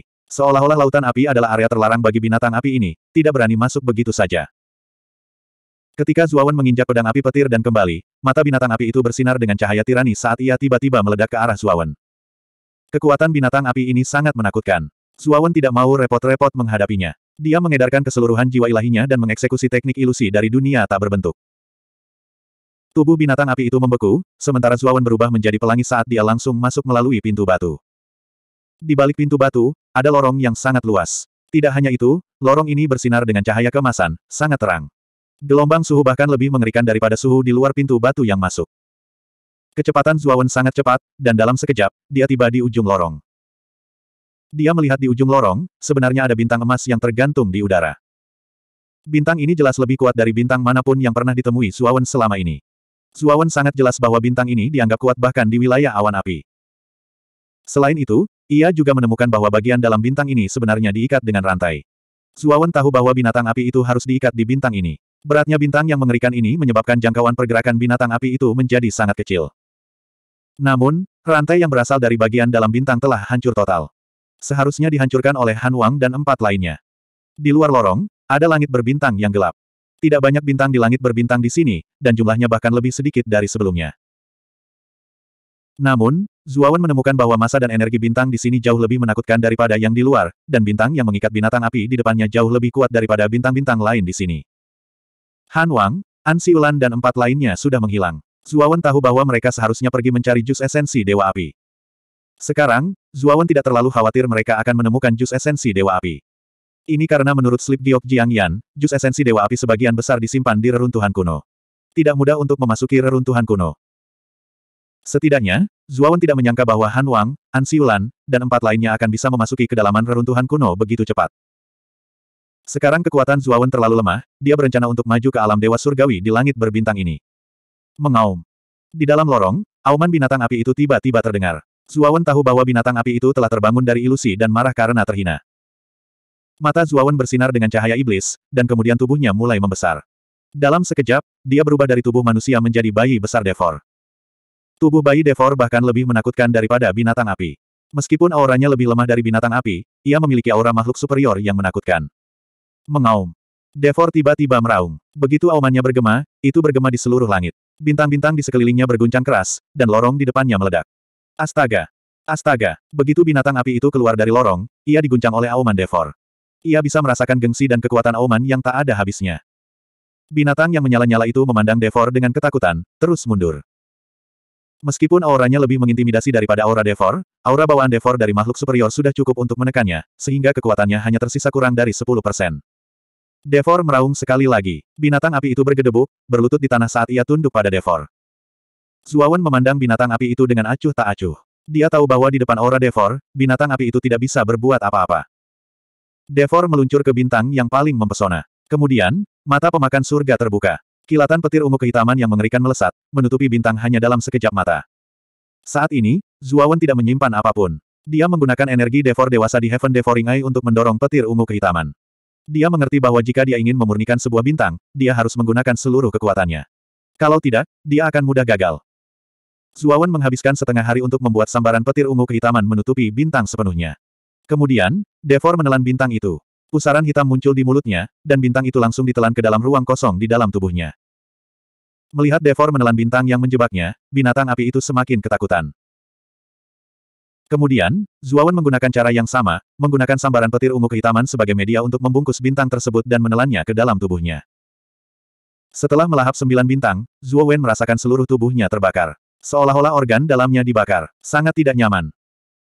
Pada saat ini, Zuawan melepaskan semua energi Devor dewasa di Heaven Devoring Eye untuk membantu Devor memurnikan sembilan bintang di tubuhnya. Saat dia menyempurnakan sembilan bintang, aura Devor meroket, menerobos alam demigod dan mencapai alam dewa surgawi awal. Tidak hanya itu, auranya masih terus meningkat, dari alam dewa surgawi awal hingga alam dewa surgawi tengah. Akhirnya, ia berhenti di alam dewa surgawi akhir. Saat Devor membuka matanya, dia menghadap ke langit dan meraung. Bintang-bintang lain di langit berbintang menggigil seolah takut pada Devor. Binatang api itu berlutut, menundukkan kepalanya. Ia tidak berani menatap Devor. Aura Devor terlalu menakutkan. Itu bahkan lebih kuat dari aura alam dewa sejati biasa. Mata Devor menunjukkan ekspresi puas. Dia tahu bahwa alasan mengapa dia bisa maju begitu cepat adalah karena energi Devor dewasa. Jika bukan karena dukungan energi besar Devor dewasa, hampir tidak mungkin bagi Zuawan untuk mencapai alam dewa surgawi akhir. Dia jelas bahwa Devor berbeda dari kultivator biasa. Energi yang dibutuhkan untuk setiap kemajuan ratusan atau ribuan kali lebih banyak daripada kultivator biasa. Dapat dikatakan bahwa Devor adalah seorang pelahap yang menakutkan. Layak disebut sebagai salah satu ras terkuat di langit berbintang. Pelahap ini terlalu menakutkan. Dia hanya dewa surgawi akhir, tapi dia membuatku merasa seperti telah bertemu dengan dewa sejati bencana dua kali. Xiao Hei duduk di atas pedang api guntur, memandang Zuawan dengan takjub. Setelah berhasil maju ke alam dewa surgawi, tubuh besar Devor terus menyusut. Akhirnya, di bawah pengaruh Sapeles All Life, dia berubah menjadi seorang pemuda berjubah hitam. Pemuda berjubah hitam ini secara alami adalah Zuawan. Nak, kamu seharusnya menggunakan semua energi Devor dewasa, kan? Aku khawatir jalan menuju kemajuan akan penuh duri. Xiao Hei berkata sambil mengerutkan kening. Zuawan mengangguk dan berkata, saya tahu. Tubuh utama saya terlalu lemah, dan saya membutuhkan lebih banyak kekuatan untuk mengambil Heavenly Armor Star dan yang lainnya. Itu sebabnya saya telah mengembangkan Devor terlebih dahulu. Namun, setelah perjalanan ke Long River Galaxy, aku akan mengolah tubuh utamaku lagi. Selain itu, kemampuan bawaan Devor sangat menakutkan. Setelah maju ke alam Dewa Surgawi, kemampuan bawaan Devor muncul dalam ingatan warisannya. Mata Xiao Hei berkilat kaget, kemampuan bawaan macam apa itu? Zuawan tersenyum dan melambaikan lengan bajunya. Tiba-tiba, langit berbintang dalam radius 10 juta mil di sekelilingnya runtuh. Kemudian, jiwa halus yang tampak ganas dan tak terhitung jumlahnya muncul dari ruang yang runtuh. Oh! Saat Purgatori Behemoth muncul, ekspresi teror muncul di matanya saat ia bergetar. Kekuatan Purgatori Behemoth sebenarnya diambil oleh Purgatori Behemoth, sementara kekuatan Zuo Wen meningkat secara eksponensial. Ini. Saat jiwa halus muncul, Xiao Hei merasakan hawa dingin merambat di punggungnya. Dia bisa merasakan energi di tubuhnya perlahan terkuras habis. Apalagi pengurasan seperti ini tidak bisa dihentikan. Xiao Hei hanya bisa memperlambatnya. 1936. Reruntuhan kuno. Kemampuan bawaan yang mengerikan. Mata Xiao Hei dipenuhi ketakutan. Berdasarkan kemampuan bawaan yang menakutkan ini saja, bahkan Dewa Dua Bencana sejati biasa pun mungkin bukan tandingan Zuawan. Saatnya melihat reruntuhan kuno. Zuawan tersenyum tipis dan melambai ke arah binatang api di ujung terowongan. Binatang api itu merintih dan bergegas ke kaki Zuawan, membungkuk untuk menunjukkan penyerahannya. Suara mendesing. Saat binatang api itu mencapai sisi Zuawan, sesosok tubuh tiba-tiba keluar dari terowongan di depan. Itu adalah pria jangkung dengan pisau panjang di punggungnya. Dia baru saja bergegas keluar dari terowongan ketika dia melihat Zuawan, dan matanya menunjukkan sedikit keganasan. Namun, orang ini dengan cepat menyadari binatang api di samping Zuawan, dan wajahnya menjadi pucat, tidak berani mendekat. Mata Zuawan tajam, dan dia segera menyadari keganasan di mata pria itu ketika dia melihatnya. Jelas sekali, orang ini mengenalnya, tetapi Zuawan tidak. Zuawan melangkah ke atas binatang api itu dengan santai, memandang pria jangkung itu, dan berkata, siapa kamu? Ketika Zuawan melangkah ke atas binatang api itu, tubuh pria jangkung itu bergetar, dan matanya dipenuhi rasa tidak percaya. Lalu, dia perlahan mundur. Mundur. Dia berteriak dan segera mundur, tapi dia mengutuk dalam hatinya. Bagaimana Long Wen, seorang pesilat setengah dewa, berhasil menjinakkan monster api tingkat dewa sejati. Ketika pria jangkung itu segera mundur, Zuawan menyadari ada sesuatu yang tidak beres. Dia mendengus dingin, menunjuk pria jangkung itu, dan berkata kepada binatang api itu, tangkap dia hidup-hidup. Binatang api itu meraung dan langsung menghilang ke dalam terowongan. Setelah beberapa saat, ia tiba di depan Zuawan dengan pria yang babak belur di mulutnya. Pada saat ini, pria jangkung itu sedang sekarat, dan matanya linglung. Tingkat kultivasi pria jangkung ini tidaklah lemah, dan dia telah mencapai level dewa sejati palsu. Jika sebelum menjadi dewa surgawi, Zuawan akan kesulitan berurusan dengan orang ini. Tapi sekarang, dia bisa menghancurkan orang ini sampai mati dengan satu tangan. Jangan, jangan bunuh aku. Ketika pria jangkung itu melihat Zuawan di depannya, dia berseru ngeri. Kamu benar. Zuawan tidak mau repot-repot memperhatikan pria jangkung itu. Tangan kanannya membentuk cakar dan mencubit kepala pria itu, segera mencari jiwanya. Setelah maju ke alam Dewa Surgawi akhir, jiwa Dewa Zuawan juga telah berevolusi ke alam Dewa Surgawi akhir. Dengan kekuatan Devor, jiwa dewanya telah jauh melampaui alam Dewa Surgawi akhir. Bahkan Dewa sejati palsu mungkin tidak sekuat jiwa Dewa Zuawan. Setelah mencari jiwanya, Zuawan menghancurkan jiwa spiritual pria itu. Lalu, dia melompat ke atas binatang api raksasa itu dan berkata, ayo pergi. Ayo masuk ke reruntuhan kuno. Nama orang ini adalah Pan Hu, dan dia datang bersama Han Wang dan yang lainnya. Dia memiliki status yang sangat tinggi di galaksi matahari emas dan juga diundang oleh Pande untuk membunuhnya. Sekarang, Pande hanyalah badut pelompat baginya. Awalnya, Zuawan tidak ingin memperhatikan badut seperti Pande, tetapi karena Pande berinisiatif untuk menjadi ujung tombak, maka jangan salahkan Zuawan karena tidak kenal ampun. Tentu saja, Zuawan akan berurusan dengan Pande setelah mereka keluar dari reruntuhan kuno. Warisan dari langit kekosongan yang maha kuasa tepat untuk diwarisi oleh penguasa ini. Berdiri di atas binatang api raksasa, tatapan Zuawan menembus langit berbintang dan mendarat di reruntuhan kuno di akhir. Apakah reruntuhan kuno itu nyata atau tidak, dengan kekuatan Zuawan saat ini, dia tidak takut sama sekali. Wilayah tengah wilayah awan api benar-benar berbeda dari wilayah luar. Ada wilayah besar berbentuk cincin di sini. Tidak ada satupun bintang di wilayah ini, tetapi suhu di sini jauh lebih mengerikan daripada di luar. Di tengah wilayah ini, ada reruntuhan kuno yang sangat besar. Ada banyak bangunan bobrok yang tersebar di reruntuhan kuno ini. Terlebih lagi, semua bangunan ini terbuat dari kristal sumber api. Di permukaan, tampak seperti terbakar. Memang ada reruntuhan kuno di sini. Sepertinya informasi yang kami terima tidak salah. Beberapa penggarap yang beruntung mendapatkan jus esensi sumber api di wilayah luar. Aku khawatir jus itu bocor dari reruntuhan kuno ini. Setelah Han Wang dan empat orang lainnya tiba di wilayah tengah, mata mereka tiba-tiba menjadi menyala-nyala. Hem. Seorang siulan sepertinya telah menemukan sesuatu. Dia melambaikan tangan kanannya dan mencubit bola api yang keluar. Kemudian, dia menyebarkannya dan menemukan bahwa bola api itu sebenarnya adalah cairan seukuran telapak tangan. Namun, cairan ini sangat aneh. Itu terbungkus dalam api seolah-olah lapisan luar api telah menjadi sekantong jus esensi sumber api. Jus esensi sumber api. Seorang siulan sangat bersemangat. Dia segera memasukkan jus esensi sumber api ke dalam cincin rohnya. Di saat yang sama, dia menatap orang-orang di sekitarnya dengan waspada. An Siulan, kamu benar-benar tidak berguna. Jus esensi sumber api di sini tidak hanya sedikit di tanganmu. Apakah kita akan mengabaikan hal-hal penting dan mengejar hal-hal sepele dan merebutnya darimu? Huo Sang mencibir. Dia pun melambaikan lengan bajunya dan mengumpulkan bola api yang lewat tak jauh dari situ. Benar saja, itu juga merupakan bola jus esensi sumber api. Dengan penemuan ini, mereka berlima mulai mengumpulkan jus esensi sumber api. Setelah sekitar satu jam, Han Wang tiba-tiba berkata, terlalu lambat bagi kita untuk mengumpulkannya seperti ini. Karena jus esensi sumber api ini berasal dari reruntuhan kuno, kita mungkin dapat menemukan sumbernya jika kita bekerja sama. Saya setuju dengan Han Wang. Siang Mengcun mengangguk. Karena Han Wang memimpin, An Siulan, Tai Sang Sue, dan yang lainnya tentu saja tidak keberatan. Reruntuhan kuno sangat besar. Setelah mereka berlima mendarat di jalan berapi di reruntuhan kuno, mereka mulai mencari.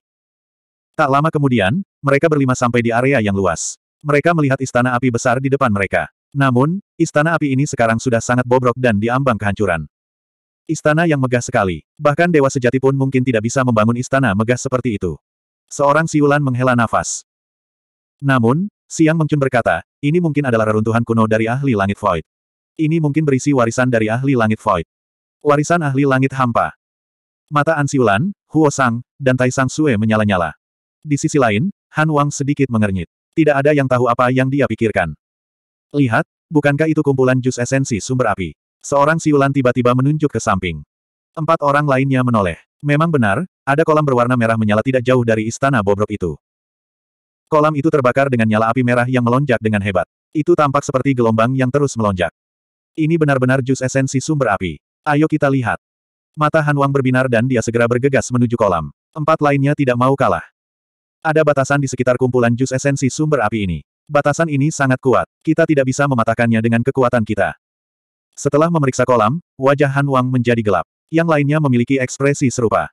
Suara mendesing. Tiba-tiba, sebuah gelembung muncul di kolam merah menyala. Kemudian, api melilit sedikit jus esensi sumber api dan keluar dari reruntuhan kuno. Han Wang mencegat jus esensi sumber api dan menghela nafas. Sepertinya jus esensi sumber api di luar bocor dari kolam ini. Seorang siulan dan yang lainnya tidak berdaya. Mereka tahu bahwa meskipun ada banyak kumpulan jus esensi sumber api, pembatasannya terlalu kuat. Mereka dapat melihatnya tetapi tidak dapat menyentuhnya. Semuanya, pembatasan ini pasti dibuat oleh pemilik reruntuhan kuno. Karena itu masalahnya, kenapa kita tidak masuk ke istana dan melihatnya? Mungkin istana punya cara untuk mendobrak batasan tersebut. Siang Mengcun tiba-tiba tersenyum manis. Tuan Pavilion Siang benar, ayo masuk ke istana dan lihat. Huo Sang dengan cepat menjawab. An Siulan dan Tai Sang Sui tidak memiliki banyak pendapat. Sebaliknya, Han Wang lah yang mengerutkan kening. Dia tidak tahu kenapa, tapi setelah memasuki reruntuhan kuno, dia merasa tidak nyaman. Han Wang, apakah ada masalah? An Siulan memperhatikan ekspresi Han Wang dan bertanya. Han Wang menggelengkan kepalanya. Aku hanya merasa tidak enak. Mungkin hanya pikiranku yang sedang mempermainkanku. Hanya istana ini yang tersisa. Ayo masuk dan lihat. Kelompok lima orang perlahan memasuki istana. Namun, saat mereka memasuki istana, mulut Siang Mengcun menunjukkan lengkungan yang aneh. Gemuruh. Aliran cahaya langsung memasuki reruntuhan kuno. Zuawan berdiri di atas binatang api itu. Pandangannya tertuju pada bangunan bobrok di depannya. Dia bertanya dengan rasa ingin tahu, ini reruntuhan kuno yang disebutkan Jiang Yan. Saat mereka memasuki reruntuhan kuno, Zuawan merasa ragu. Secara logika, Karena Fury Cloud Domain ada di sistem Long River, dan Kiki adalah penguasa sistem tersebut, mustahil baginya untuk tidak memperhatikan reruntuhan kuno di kedalaman Fury Cloud Domain. Dengan kekuatan tubuh asli Kiki, memasuki tempat ini seharusnya tidak menjadi masalah yang terlalu besar. Selain itu, mengambil warisan reruntuhan kuno seharusnya tidak terlalu sulit. Namun, Fury Cloud Domain telah ada di sistem Long River sejak lama. Namun, Kiki tidak melakukannya. Hal ini membuat Zuawan merasa aneh. Sepertinya tempat ini tidak sederhana. Zuawan melihat sekeliling reruntuhan kuno. Namun, dia diam-diam waspada. Dia menebak bahwa dengan kekuatan Kiki, dia pasti tahu bahwa ada reruntuhan kuno di sini. Karena reruntuhan kuno masih ada di wilayah inti Fury Cloud Domain, hanya ada satu penjelasan. Itu adalah reruntuhan kuno yang tidak mudah untuk diambil. Bahkan dewa sejati seperti Kiki akan kesulitan untuk menghancurkan reruntuhan kuno. Mengaum. Tiba-tiba, binatang api itu meraung ke arah Zuawan. Ada ketakutan di matanya dan ia menggunakan cakar kanannya untuk menunjuk ke istana di depannya. Tubuhnya menggigil seolah takut pada istana. Zuawan berjalan turun dari Firibis dan berjalan menuju istana perlahan. Pada saat yang sama, dia mengeluarkan pedang api guntur dan memegang pedang besi Lu di tangan kanannya. Dia mengamati sekeliling setiap saat. Anak muda, tempat ini jelas sangat panas. Namun, membuatku merasa agak suram, Xiao Hei melayang di atas pedang api guntur dan berkata dengan ketakutan di mata kecilnya. Zuawan mengangguk. Segera, dia melihat genangan jus roh api yang tidak jauh dari situ. Ini, jus roh api. Ada banyak sekali. Zuawan menatap kolam di depannya yang lebarnya beberapa kaki. Ada cukup banyak jus roh api di dalamnya. Jika jus roh api dalam jumlah besar dilepaskan, itu pasti akan menyebabkan dewa surga yang tak terhitung jumlahnya di seluruh sistem menjadi gila. Bahkan para penggarap di sistem sekitarnya tidak akan tenang. Ada larangannya. Zuawan segera menyadari ada cahaya transparan yang mengalir di sekitar kolam. Terlihat jelas ada larangan keras di sekitar kolam. 1937. Penawaran. Zuawan mengangguk. Meskipun batasannya kuat, namun telah terkikis seiring berjalannya waktu dan telah dilanggar. Mungkin kekuatan itu masih sangat kuat bagi mereka yang berada di bawah alam dewa sejati, namun tidak terlalu kuat bagi dewa sejati yang cukup kuat.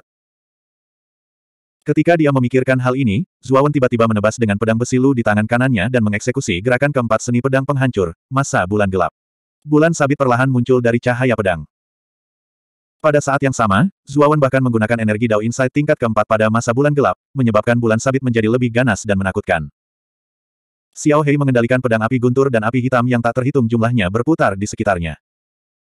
Api hitam ini padat dan menyelimuti pedang api guntur sepenuhnya, berubah menjadi binatang hitam yang menakutkan. Ia menyerang dengan cakarnya, menghancurkan batasan tersebut dengan keras. Gemuruh. Pembatasan di sekitar kolam justru api bergetar hebat. Kemudian, dengan suara retak, seluruh batasan itu runtuh dan hancur. Guyuran. Xiao Hei seperti serigala lapar saat dia tiba-tiba menerkam ke dalam kolam. Kemudian, dia dengan santai berenang dalam berbagai posisi di kolam jus roh api. Tentu saja, semua ini hanyalah ilusi. Zuawan dengan jelas merasakan pedang api petir yang dikendalikan oleh Xiao Hei dengan cepat menyerap jus roh api di kolam. Betapa liciknya. Zuawan mengerutkan bibirnya dan segera mengeluarkan tong kosong dari cincin rohnya. Kemudian, dia menuangkan jus roh api ke dalam tong besar yang kosong ini. Namun, jus roh api sangat dalam. Setelah mengisi lebih dari 10 barel, Zuawan menyadari bahwa kolam itu tidak berkurang sama sekali. Gali seluruh kolam. Mata Zuawan menunjukkan tatapan membara. Xiao Hei juga mengerti secara diam-diam. Pedang Thunderfire tiba-tiba memuntahkan api hitam yang menakutkan dan berubah menjadi pedang besar yang panjangnya 100 kaki di udara. Pedang itu tiba-tiba menusuk ke tepi kolam dan kemudian membuat lingkaran di sekeliling kolam. Kemudian, dengan tarikan ringan, ia langsung menggali kolam tempat jus roh api berada. Zuawan melambaikan tangan kanannya dan pusaran air hitam muncul di sampingnya. Dia kemudian menelan kolam jus roh api ke dalam ruang di tubuhnya. Haha, efek jus roh api sangat bagus. Dengan banyaknya jus roh api, menurutku itu cukup untuk memperbaiki pedang api petir menjadi senjata dewa sejati, kata Xiao Hei dengan gembira. Zuo Wen juga sedang dalam suasana hati yang baik. Dengan begitu banyak jus energi roh api, Zuo Wen merasa bahwa itu sudah cukup baginya untuk mencapai tahap dewa sejati di masa depan. Ketika dia mencapai puncak tahap Dewa Surgawi, dia akan bisa mulai menyerap jus energi roh api. Astaga! Tiba-tiba, di pintu masuk istana rusak di depan istana rusak. Guyuran. Namun, sosok bayangan iblis terjemahannya terjemahannya apakah? Adalah, adalah, adalah, adalah, terjemahan-terjemahan. Terjemahan, terjemahan, terjemahan raja terjemahan uang uang terjemahan terjemahan terjemahan terjemahan terjemahan uang terjemahan terjemahan terjemahan terjemahan terjemahan. Terjemahan, terjemahan-terjemahan ding terjemahan, terjemahan-terjemahan terjemahan, terjemahan, terjemahan. Suawan tiba di depan Han Wang. Pupil matanya mengerut saat dia menyadari bahwa wajah Han Wang telah berubah menjadi hijau tua. Jelas sekali dia telah diracuni.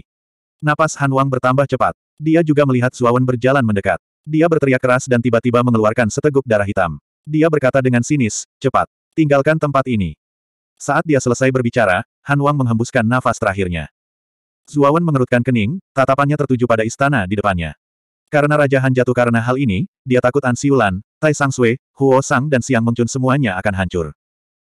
Sepertinya ini benar-benar sisa-sisa ahli Void Heaven yang maha kuasa. Ayo masuk dan lihat. Zuawan menginstruksikan binatang api raksasa untuk tetap berada di luar dan kemudian melangkah ke istana dengan pedang api guntur. Dengan kemampuan Zuawan saat ini, kecuali jika itu adalah dewa sejati yang terkemuka, mustahil untuk membunuh Zuawan. Zuawan tidak percaya bahwa sisa dari langit Void yang maha kuasa yang telah jatuh dapat melakukan apa pun padanya. Setelah berjalan ke istana yang suram, Zuawan dengan cepat tiba di aula yang gelap. Ada enam pintu samping dan pintu utama di depannya. Saat ini, pintu samping belum terbuka, namun pintu utama di depannya terbuka sedikit. Zuawan tahu bahwa pintu utama seharusnya dibuka oleh Han Wang dan yang lainnya. Zuawan tidak langsung memasuki pintu utama. Sebaliknya, dia dengan santai pergi ke pintu samping yang paling dekat dengannya dan dengan kasar membukanya. Suara mendesing. Pintu samping hancur, dan suara tajam dari sesuatu yang menembus udara masuk. Kemudian, pintu itu bergegas menuju titik vital Zuawan. Ini adalah hujan panah hitam yang dahsyat, dan hampir menutupi titik-titik vital Zuawan. Murid Zuawan mengerut. Dia mundur beberapa langkah. Di saat yang sama, Xiao Hei mengendalikan pedang api guntur untuk menebas dengan keras, langsung menghancurkan hujan panah hitam. Hujan panah ini tidak sederhana. Jika Dewa Langit Puncak biasa tidak berhati-hati, dia mungkin akan mati dalam hujan panah ini, kata Xiao Hei dengan suara rendah. Zuawan mengangguk. Pandangannya tertuju pada bagian belakang pintu, dan dengan muram dia menemukan bahwa tidak ada apa pun di balik pintu itu. Zuawan memegang pedang besi lu dan menjadi lebih waspada. Dia mulai membuka lima pintu samping lainnya satu persatu. Namun, pintu samping lainnya sama dengan pintu pertama. Saat dia membukanya, ada mekanisme serupa, tapi tidak ada apa-apa di baliknya. Ketika Zuawan membuka pintu samping terakhir, pedang besi lu di tangannya sudah mengacungkan bunga pedang. Ketika dia siap membela diri kapan saja, dia menemukan bahwa tidak ada mekanisme di balik pintu samping ini. Ini, kebun herbal. Dia melihat bahwa di balik pintu samping terakhir ini terdapat kebun ramuan dengan segala jenis tumbuhan surgawi. Setelah memasuki tempat ini, Zuawan menemukan bahwa kebun herbal ini tidaklah kecil. Jamu surgawi tingkat terendah di sini adalah tingkat 3, dan tingkat tertinggi bahkan tingkat 7. Namun, yang mengecewakan Zuawan adalah ramuan surgawi tingkat 6 dan 7 semuanya layu dan mati. Zuawan sangat jelas bahwa semakin tinggi kualitas ramuan ilahi, semakin tinggi pula kebutuhannya terhadap tanah dan lingkungan. Sebelum kebun ramuan ini ditinggalkan, seharusnya kebun ramuan ini memiliki kualitas yang sangat tinggi. Namun, seiring berjalannya waktu dan hancurnya reruntuhan, taman ramuan ini ditinggalkan. Ramuan ilahi tingkat 6 dan 7 sangat berharga. Dalam lingkungan yang keras seperti itu, mustahil bagi mereka untuk bertahan hidup. Namun, ada beberapa tanaman herbal tingkat 5 yang bertahan, namun jumlahnya sangat kecil. Yang paling bertahan adalah tanaman herbal tingkat 3 dan 4. Misalnya, bambu 100 mil, absintus giok hijau, lari kelinci wilau angin, tiga daun abadi air lembut, cisuegen, bunga musim semi api empedu tersembunyi, hijau jieji, dan sebagainya. Zuawan bahkan melihat bunga dewa api yang dibutuhkan Jiang Yan di kebun herbal ini. Apalagi jumlahnya cukup banyak. Bunga dewa api adalah ramuan dewa tingkat 4. Seluruh tubuhnya seperti api. Dari jauh, itu tampak seperti kumpulan api yang hebat. Dengan lambaian tangannya, Zuawan menyimpan semua ramuan surgawi di kebun ramuan ke dalam cincin rohnya. Tentu saja, ramuan dewa tingkat 6 dan 7 yang layu itu tidak luput dari perhatian Zuawan. Meski sudah layu, tanaman tersebut masih merupakan tanaman herbal tingkat 6 dan 7. Siapa tahu bisa bermanfaat di kemudian hari. Setelah menyimpan ramuan ilahi, Zuawan datang ke depan pintu utama. Matanya berkedip, tapi dia tetap mendorong pintu hingga terbuka. Karena Raja Han pun telah jatuh, tempat di belakang pintu utama jelas bukan tempat yang baik. Berderak. Suara aneh pintu batu bergulir terdengar. Di aula yang sunyi ini, suasananya sangat menakutkan. Di belakang pintu utama ada sebuah aula besar. Aula ini dikelilingi pilar batu. Terlebih lagi, ruangan itu dipenuhi kabut redup, sehingga mustahil untuk melihat tampilan sebenarnya dari aula ini. Namun, ada karpet merah di depan pintu utama. Hanya saja jalur karpet merah ini tidak ada di tengah kabut. Setelah karpet merah, Zuawan mendarat di ujung. Di sana, ada sebuah kuil setinggi setengah meter. Kuil ini sangat indah, tapi memang tidak ada apa-apa di dalamnya. Samar-samar mengungkapkan sedikit keanehan. Tiba-tiba terdengar langkah kaki dari samping. Mata Zuawan menyipit saat dia melihat sosok cantik muncul di bidang penglihatannya. Adik Long Wen, mengapa kamu di sini? Ketika sosok cantik itu melihat Zuo Wen, dia tiba-tiba berseru kaget. Sosok cantik ini tak lain adalah Master Pavilion Pavilion Douya, Siang Mengcun.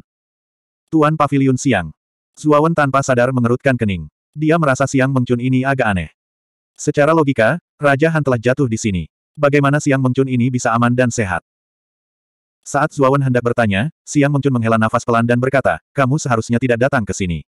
Istana ini terlalu aneh. Selain aku, Huo Sang, Tai Sang Sui, dan An Siuran semuanya mati. Hanya Raja Han mati-matian melarikan diri dari istana. Zuawan terkejut. Dia melihat Siang Mengcun dari atas ke bawah dan tiba-tiba mengeluarkan pedang besi Lu dan menebas Siang Mengcun. Bang! Wajah Siang Mengcun sedikit berubah. Dia segera mengeluarkan manik hijau itu dan berkata dengan marah, Adik Longwen, apa maksudnya ini? Kamu gila. Mulut Zuawan penuh cibiran. Dia benar-benar mengabaikan Siang Mengcun dan mengambil langkah maju. Dia segera menggunakan tiga jurus pedang utama, Sword Piercing Brambles, First Appearance of Sword Light, dan Midday Sun. Bang bang bang. Tiba-tiba, manik hijau Siang Mengcun bergetar hebat, dan Siang Mengcun mundur. Dia terkejut karena kekuatan Zuawan menjadi begitu menakutkan. Kaulah yang memberitahu keempat Raja Bintang tentang kehancuran ini, dan kaulah yang memutuskan rantai binatang api itu, kan? Pavilion Tuan Siang, siapa kamu? Zuawan mengayunkan pedang besi lu di tangan kanannya dan menggunakan gerakan keempat seni pedang dao penghancur, terkadang bulan gelap. Bulan sabit terbit, menempel pada cahaya pedang, dan menebas di depan Siang Mengcun. Retakan. Tiba-tiba, Perisai cahaya di depan Siang Mengcun hancur, dan manik hijau itu terlempar. Namun, manik hijau yang dikirim terbang segera terbang kembali. Dalam sekejap, aura hijau di sekitar tubuh Siang Mengcun meluas, membentuk pertahanan yang sangat kuat. Bagaimana kamu tahu? Mata Siang Mengcun tiba-tiba menjadi aneh, dan dia mencibir. Mulut Zuawan penuh dengan cibiran, tentu saja saya tidak tahu. Saya hanya menguji Anda. Saya tidak berharap Anda benar-benar menjawab saya. Wajah Siang Mengcun membeku, dan matanya menyemburkan api. Zuawan ini berani menipunya. Sungguh penuh kebencian. Kalau begitu beritahu aku tujuanmu. Zuawan berkata dengan dingin. Siang Mengcun tidak berbicara lagi. Dia perlahan mundur dan mendarat di depan kuil di ujung karpet merah, sambil berkata, tujuan. Aku hanya butuh pengorbanan. Saya tidak memiliki tujuan yang jelas. Karena Anda telah datang ke kuil ini, jangan berpikir untuk pergi. Berderak. 1938. Jembatan Langit Ilusi. Kabut kelabu bergejolak dan seketika berubah menjadi lautan api. Zuawan bahkan bisa merasakan panas terik dari lautan api. Lautan api sangat menakutkan. Itu langsung menyulut Zuawan, dan Zuawan seperti orang yang terbakar. Namun, Zuawan mencibir. Setelah mengolah kehidupan tak berbentuk, Zuawan dapat melihat sekilas bahwa lautan api ini hanyalah ilusi. Terlebih lagi, itu bukanlah ilusi sederhana. Begitu Anda jatuh ke dalam ilusi karena ketakutan, ilusi itu akan menjadi nyata dan membakar Anda sampai mati. Saat Zuawan dapat melihat ilusi itu dengan sekilas, dia sama sekali tidak terpengaruh oleh api yang menyelimuti dirinya. Lautan api tiba-tiba surut, dan yang terjadi selanjutnya adalah dunia es dan salju yang ekstrim. Zuawan dibekukan menjadi manusia es. Lalu datanglah senjata tersembunyi, perang, pembantaian, tsunami. Semua bencana di dunia menimpa Zuawan saat ini. Namun, Zuawan sama sekali tidak terpengaruh. Dia hanya berjalan menyusuri karpet merah dan berjalan menuju kuil. Wajah Siang Mengcun tenggelam. Dia tidak menyangka Zuawan begitu tahan terhadap ilusi. Ketika Zuawan tiba di depan kuil, Siang Mengcun buru-buru mundur beberapa langkah.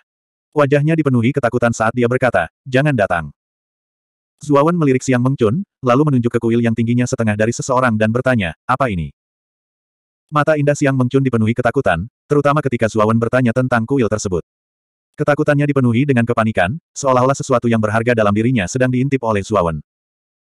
Melihat ekspresi Siang Mengcun, Zuawan langsung mengetahui bahwa kuil ini tidak sederhana. Bisa jadi candi ini ada hubungannya dengan warisan penguasa reruntuhan di sini. Zuawan dengan lembut meletakkan tangan kanannya di pelipis. Segera, aura yang sangat aneh dan dingin keluar dari kuil.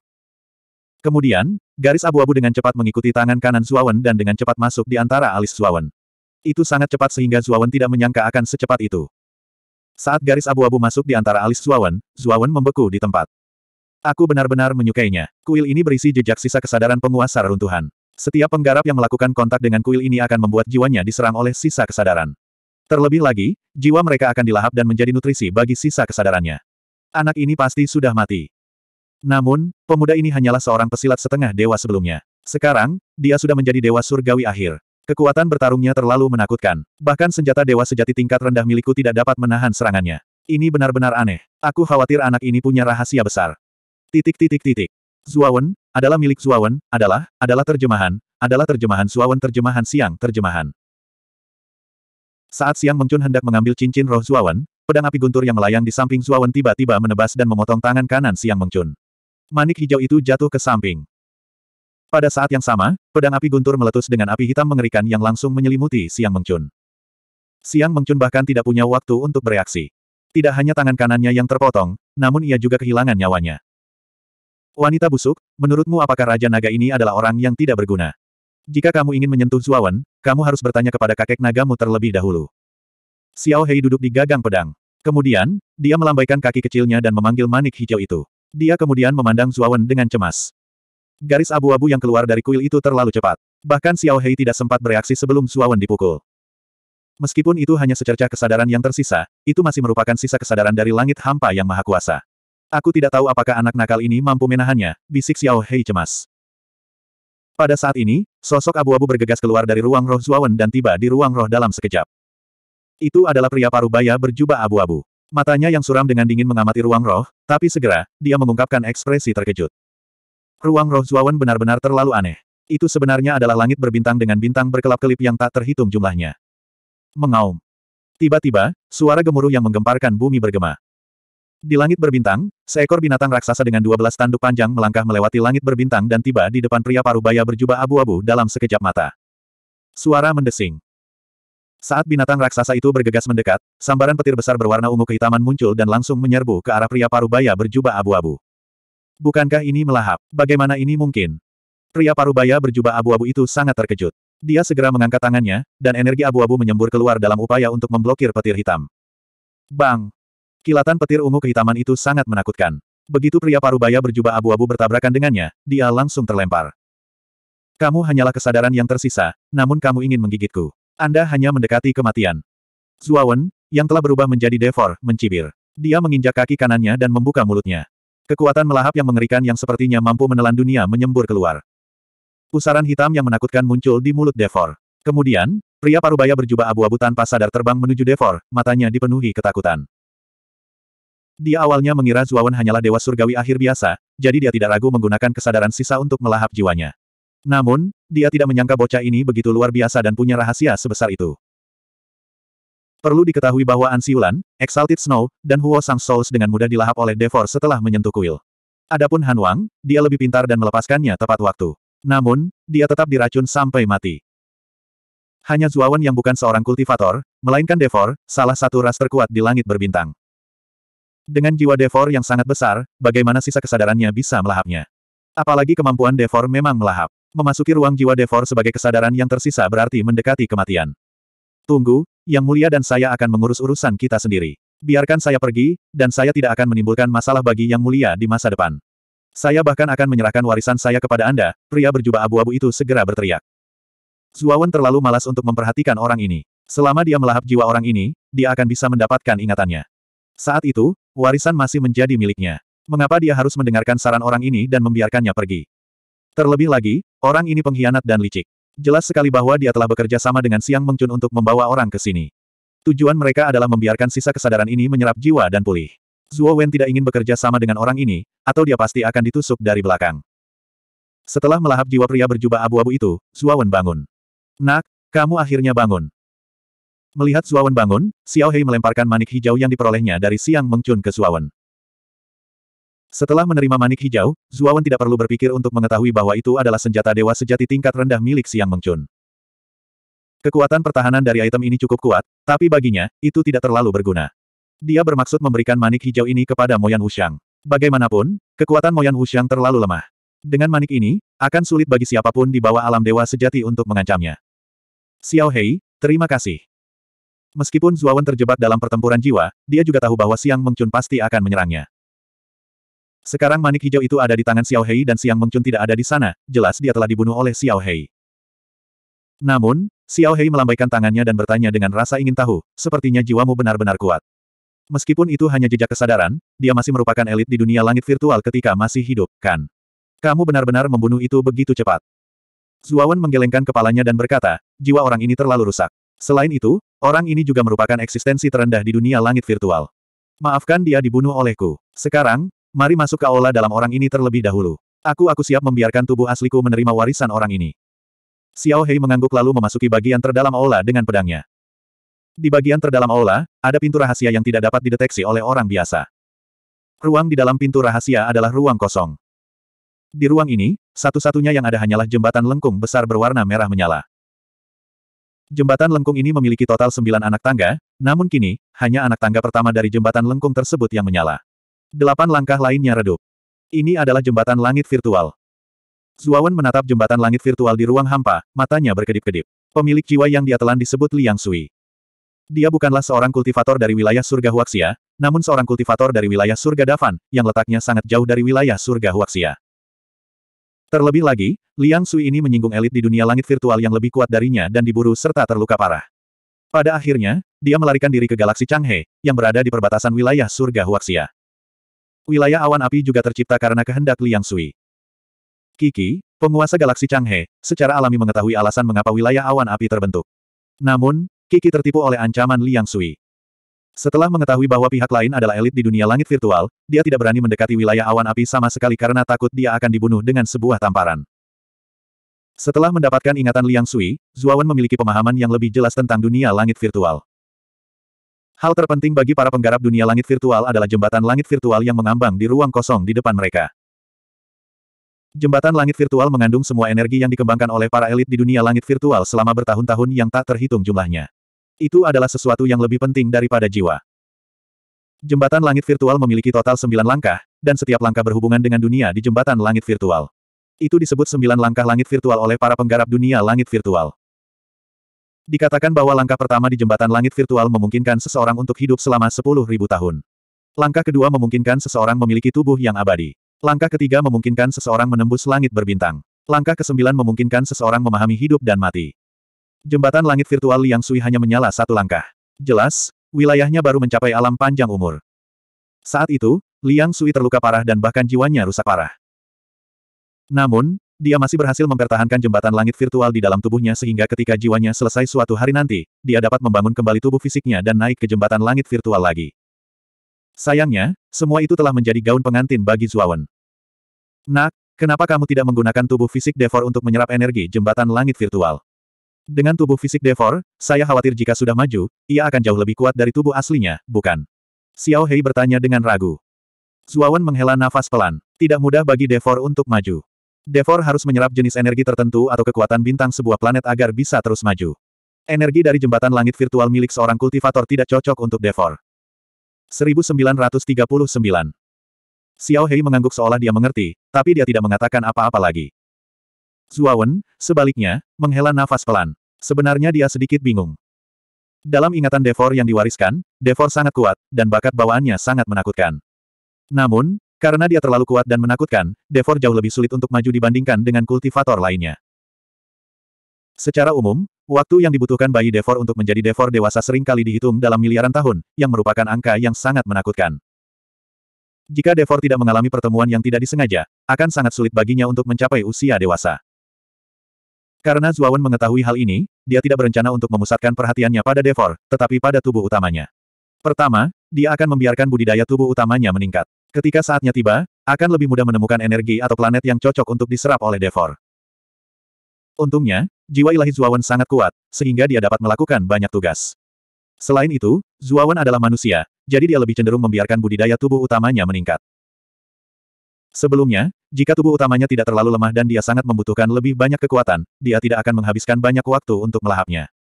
Namun, dia harus melakukannya. Bagaimanapun, mata Devor Surgawi memiliki kekuatan Devor dewasa. Begitu bayi Devor menjadi dewa surgawi, dia tidak hanya akan memiliki kemampuan ilahi bawaan, tetapi dia juga akan mampu menyerap kekuatan Devor dewasa dan maju dengan cepat, memberi Zuawan kekuatan dewa sejati. Justru karena kekuatannya saat ini, Zuawan dapat memasuki sistem sungai panjang tanpa rasa takut. Dia juga lebih percaya diri dalam mengambil planet armor surgawi. Pertama, serap jembatan surgawi ilusi ini ke dalam tubuh Devor. Lalu, biarkan tubuh utamaku mengolahnya. Setelah mengatakan itu, tubuh Zuawan membesar, memperlihatkan tubuh utama Devor. Devor membuka mulutnya, dan pusaran hitam muncul. Kemudian, jembatan surgawi ilusi ditelan ke dalam tubuh Devor tanpa kejutan apa pun.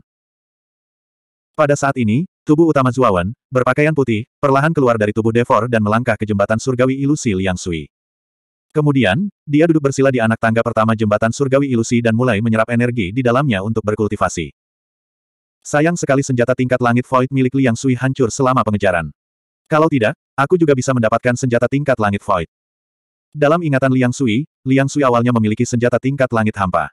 Sayangnya, itu dihancurkan oleh tuan besar yang mengejarnya. Memikirkan hal ini, Zuawan hanya bisa menghela nafas. Sudah waktunya kita meninggalkan tempat ini. Setelah meninggalkan pintu rahasia, Zuawan mencari lagi di seluruh istana. Dia menemukan mayat Huo Sang, Tai Sang Sue, dan An Siulan. Selain ketiganya, ada banyak mayat di aula yang telah berubah menjadi kerangka. Jelas sekali, mayat-mayat ini sama dengan Huo Sang dan yang lainnya, makhluk menyedihkan yang jiwanya telah dilahap oleh sisa kesadaran Liang Sui. Tiba-tiba, Zuawan melihat kerangka berlutut dengan satu kaki. Ada liontin giok di pinggang kerangka itu. Kata, Jiang, terukir di liontin giok. Bukankah itu nenek moyang Jiang Yan, Jiang Su? Dengan lambaian lengan bajunya, Zuowen menyingkirkan mayat Jiang Su dan memeriksa sekeliling. Setelah memastikan tidak ada yang tersisa, Zuowen meninggalkan istana. Pada saat Zuowen keluar dari istana, binatang api itu masih menunggu di luar. Melihat Zuowen keluar, Flambis bersujud di tanah, matanya dipenuhi rasa kagum. Tinggalkan wilayah awan berapi-api ini. Zuawan duduk di punggung Flambis dan memerintahkan dengan acuh tak acuh. Flambis meraung dan menghentakkan kaki kanannya, meninggalkan tempat ini dalam sekejap. Namun, ketika binatang api raksasa itu kembali ke lautan api, ia ragu-ragu. Alasan mengapa ia terjebak di sini adalah karena Liang Sui. Sebelum Liang Sui jatuh, dia telah menjebak Flambis di sini, menjadikannya penjaga Flambis. Dia juga memerintahkannya untuk tidak meninggalkan lautan api. Sekarang, Flambis memiliki ingatan yang mendalam tentang hal itu. Menghadapi lautan api di depannya, ia ragu-ragu. Liang Sui sudah mati. Perintahnya hanyalah kentut. Bawa saja aku pergi, kata Zuo Wen acuh tak acuh. Flambis menggigil, lalu bergegas ke lautan api tanpa ragu-ragu. Bahkan Liang Sui telah mati di tangan pria ini. Flambis tahu bahwa pria ini tidak bisa dianggap enteng, jadi dia tidak berani melanggar perintah Zuawan. Apalagi saat sudah merasakan tekanan mengerikan dari Devor, Flambis semakin ketakutan. Meski masih banyak suani bermata api di lautan api, mereka tidak berani keluar saat binatang api itu muncul. Mereka semua menyusut kembali ke lautan api. Melihat bintang yang tak terhitung jumlahnya di sepanjang jalan, Zuawan menghela nafas dalam hati. Energi bintang-bintang terlalu kuat. Dia harus menggunakan kekuatan Devor untuk memurnikan sembilan bintang. Dengan kekuatannya saat ini, terlalu sulit untuk melahap lebih banyak bintang. Sedangkan untuk planet kehidupan, Zuawan tidak berani bertindak sembarangan. Ini adalah domain surga Tiongkok. Begitu dia melahap sebuah planet, identitas aslinya akan dikenali. Oleh karena itu, dia harus berhati-hati dalam jalur kemajuannya. Di luar Fury Cloud Domain, masih ada beberapa benua meteorit yang mengambang. Tidak jauh dari jalan yang dimasuki Zuawan, Jiang Yan duduk bersila di atas batu biru. Matanya yang indah menatap pintu masuk lorong dengan khawatir. Meskipun dia tidak yakin seperti apa reruntuhan kuno di Fury Cloud Domain, dia yakin bahwa leluhurnya telah menghilang. Dia takut Long Wen tidak bisa keluar. Mari kita tunggu satu bulan lagi. Jika kakak Long masih belum keluar, aku akan pergi. Jiang Yan menggelengkan kepalanya, mendesah dalam hati. Gemuruh. Tiba-tiba, suara gemuruh yang mengerikan datang dari seluruh Fury Cloud Domain. Segera setelah itu, para penggarap di Fury Cloud Domain terkejut. Mereka menemukan bahwa api di Fury Cloud Domain bahkan lebih ganas. Bintang-bintang di Fury Cloud Domain bahkan lebih ganas lagi, seolah-olah ada sesuatu yang meledakkannya. Apa yang sedang terjadi? Apa yang terjadi di domain Fury Cloud? Banyak kultivator yang berencana memasuki domain Fury Cloud semuanya kembali ke benua meteorit melalui jalur tersebut. Mereka melihat pemandangan itu dengan ketakutan. Mereka tidak dapat membayangkan apa yang terjadi di Fury Cloud Domain. Gemuruh. Tiba-tiba, banyak bagian di luar Fury Cloud Domain runtuh. Beberapa pembudidaya yang masih berada di lorong, karena tidak dapat melarikan diri tepat waktu, langsung dimusnahkan. Pemandangan ini menyebabkan banyak kultivator menghirup udara dingin, jantung mereka berdebar kencang. Bahkan Jiang Yan berdiri dan dengan cepat mundur ke tepi benua meteorit. Mata indah Jiang Yan dipenuhi ketakutan saat dia melihat bagian yang rusak. Jantungnya berdebar kencang. Dia tahu bahwa dengan hancurnya lorong itu, para penggarap di domain awan api akan kesulitan untuk keluar. Dan Zuawan yang berada di kedalaman Fury Cloud Domain, kemungkinan besar mengalami kemalangan. Memikirkan hal ini, hati Jiang Yan penuh dengan desahan. Dia tahu bahwa dia tidak perlu menunggu lebih lama lagi. Kakak Long, ini salahku. Setelah mengatakan itu, Jiang Yan hendak pergi. Lihat, apa itu? Sungguh binatang raksasa yang menakutkan, dia sebenarnya tidak takut dengan api yang mengerikan di Fury Cloud Domain. Tiba-tiba, para pembudidaya di benua meteorit berseru, menarik perhatian Jiang Yan. Jiang Yan mendongak dan melihat binatang raksasa yang dibicarakan semua orang. Tubuhnya bergetar. Binatang raksasa api. Bagaimana hasilnya? Jiang Yan berteriak kaget, tapi segera dia menyadari bahwa di dalam binatang raksasa api itu, sepertinya ada sosok yang berdiri di sana. Dan sosok ini sudah tidak asing lagi baginya. Kakak panjang, Hati Jiang Yan bergetar. Dia tidak menyangka Long Wen mampu menjinakkan binatang raksasa api yang begitu menakutkan. Binatang api raksasa itu langsung mendarat di benua meteorit. Dalam sekejap, para pembudidaya di benua meteorit semuanya mundur. Mata mereka dipenuhi ketakutan saat mereka menatap Zuawan yang berada di atas binatang raksasa api itu. Semua orang menebak keberadaan tertinggi orang ini, hingga benar-benar mampu menjinakkan binatang api raksasa yang menakutkan itu. Zuawan memberi isyarat kepada Jiang Yan, Nona Jiang, saya beruntung telah menyelesaikan misi saya. Jiang Yan tersentak, tapi dia tidak berani mendekati binatang raksasa api itu. Dia sangat jelas betapa menakutkannya binatang raksasa api ini. Ini adalah eksistensi yang sebanding dengan dewa sejati. Hanya dengan sejumput jarinya, dia akan tergencet sampai mati. Zuawan berjalan turun dari binatang raksasa api itu dan mengeluarkan kantong interspatial yang telah dia persiapkan sebelumnya.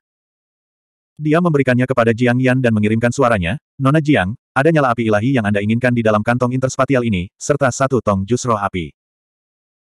Pada saat yang sama, Zuawan mengeluarkan liontin giok dan memberikannya kepada Jiang Yan, saya menemukan ini di salah satu mayat. Apakah ini milik leluhur Anda Jiang Su? Jiang Yan memeriksa nyala api ilahi dan jus roh api di kantong interspatial. Dia langsung tercengang. Ada total 10 api ilahi dan satu tong jus roh api. Laras ini sama sekali tidak sederhana. Itu setebal orang yang memeluknya dan tingginya setengah meter. Itu diisi sampai penuh dengan jus roh api. Tidak diragukan lagi, ini adalah jumlah jus roh api terbanyak yang pernah dilihat Jiang Yan. Tapi dengan sangat cepat, perhatian Jiang Yan tertarik oleh liontin giok itu. Dia mengambilnya dan memeriksanya dengan serius.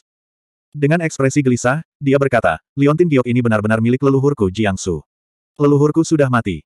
Zuawan mengangguk. Dia menyerahkan mayat Jiang Su kepada Jiang Yan, liontin giok ini ditemukan di mayat ini. Orang ini seharusnya adalah leluhurmu Jiang Su. Jiang Yan menerima mayat itu. Matanya langsung memerah sambil menghela nafas, meski aku tahu nenek moyangku mungkin telah jatuh, tapi setelah mendapat konfirmasi, aku tetap merasa sedih. Ayo kita tinggalkan tempat ini dulu. Semua orang di sini melihatku memberikan kantong interspatial itu padamu. Aku khawatir akan ada orang yang mengingini harta karunmu. Zuo Wen melambaikan tangannya ke arah binatang api raksasa itu. Binatang api raksasa itu meraung dan datang ke sisi Zuo Wen. Segera setelah itu, ia menurunkan tubuhnya dan tampak sangat jinak. Tubuh Jiang Yan bergetar. Menekan rasa takut di hatinya, dia melangkah ke binatang api itu. Zuawan benar. Dengan sikap Zuawan, selama seseorang tidak bodoh, mereka akan bisa menebak bahwa harta yang diperoleh Zuawan pasti luar biasa. Dan Zuawan memberikan kantong interspatial kepada Jiang Yan. Tidak mungkin orang lain tidak menginginkannya. Orang lain mungkin tidak berani menyentuh Zuawan, tapi itu tidak berarti mereka tidak berani menyentuhnya, Jiang Yan. Keduanya menunggangi binatang api itu dan segera menghilang dari benua meteorit. Di luar planet hijau tua, seekor binatang buas besar yang menyala diam-diam lewat. Kakak Long, ini planetku. Pada binatang api itu, Jiang Yan menunjuk ke planet hijau tua dan berkata dengan santai. Zuawan mengangguk dan berkata, Nona Jiang, mari kita berpisah di sini. Saya masih memiliki beberapa masalah yang harus diselesaikan. Mata indah Jiang Yan membelalak. Dengan agak sedih, dia berkata, Saudara Long, tidak bisakah kamu datang ke rumahku untuk berkunjung? Apa ini mendesak? Ini memang mendesak. Jika ada kesempatan di masa depan, saya pasti akan mengunjungi Anda. Kata Zuawan. Jiang Yan menghela nafas dan tersenyum, terima kasih, Saudara Long. Di masa depan, kamu harus datang ke sini dan biarkan aku menjadi tuan rumahnya. Jika takdir mengizinkan, aku akan datang. Setelah mengatakan itu, Zuawan menunggangi binatang api itu dan pergi. 1940. Pantian telah jatuh. Hari itu, kota utama Long River Star ramai dengan kebisingan dan kegembiraan. Di jalanan, ada dua baris penjaga berbaju besi berat. Para penjaga berbaris di kedua sisi jalan. Pinggang mereka lurus seperti pohon pinus. Kedua sisi jalan dipenuhi oleh para petani. Semua orang berdiskusi dengan hangat dan beberapa dari mereka bahkan terlihat bersemangat. Saya mendengar bahwa dewa sejati dari lima galaksi terdekat berencana meninggalkan galaksi Sungai Panjang hari ini. Penguasa galaksi Sungai Panjang, Tuan Kiki, secara pribadi akan mengirimkan lima dewa sejati. Saya tidak pernah menyangka lima dewa sejati meninggalkan galaksi Long River pada saat yang bersamaan. Dengan kata lain, kita akan melihat enam dewa sejati hari ini. Ini sangat menarik. Ini pertama kalinya saya melihat begitu banyak dewa sejati. Ya, ya, begitu aku menjadi dewa sejati, aku akan mempunyai hak untuk menguasai galaksi. Aku bertanya-tanya kapan aku bisa menjadi dewa sejati. Tidak mudah untuk menjadi dewa sejati. Ada begitu banyak dewa langit di galaksi tetapi hanya satu yang bisa menjadi dewa sejati. Galaksi kita tidak seperti wilayah bintang. Dewa sejati sangat langka. Namun, diskusi tersebut mereda dengan sangat cepat. Tatapan semua orang tertarik pada seekor binatang besar di ujung jalan. Binatang itu tingginya seribu kaki dan lebarnya sepuluh kaki. Ini memakan hampir 90% jalan. Di belakang binatang itu, ada sebuah sedan mewah. Ada lebih dari sepuluh sosok berdiri di atas sedan. Di antara mereka, ada enam sosok yang memiliki aura agung. Melihat keenam sosok itu, banyak penggarap di jalan yang bersemangat.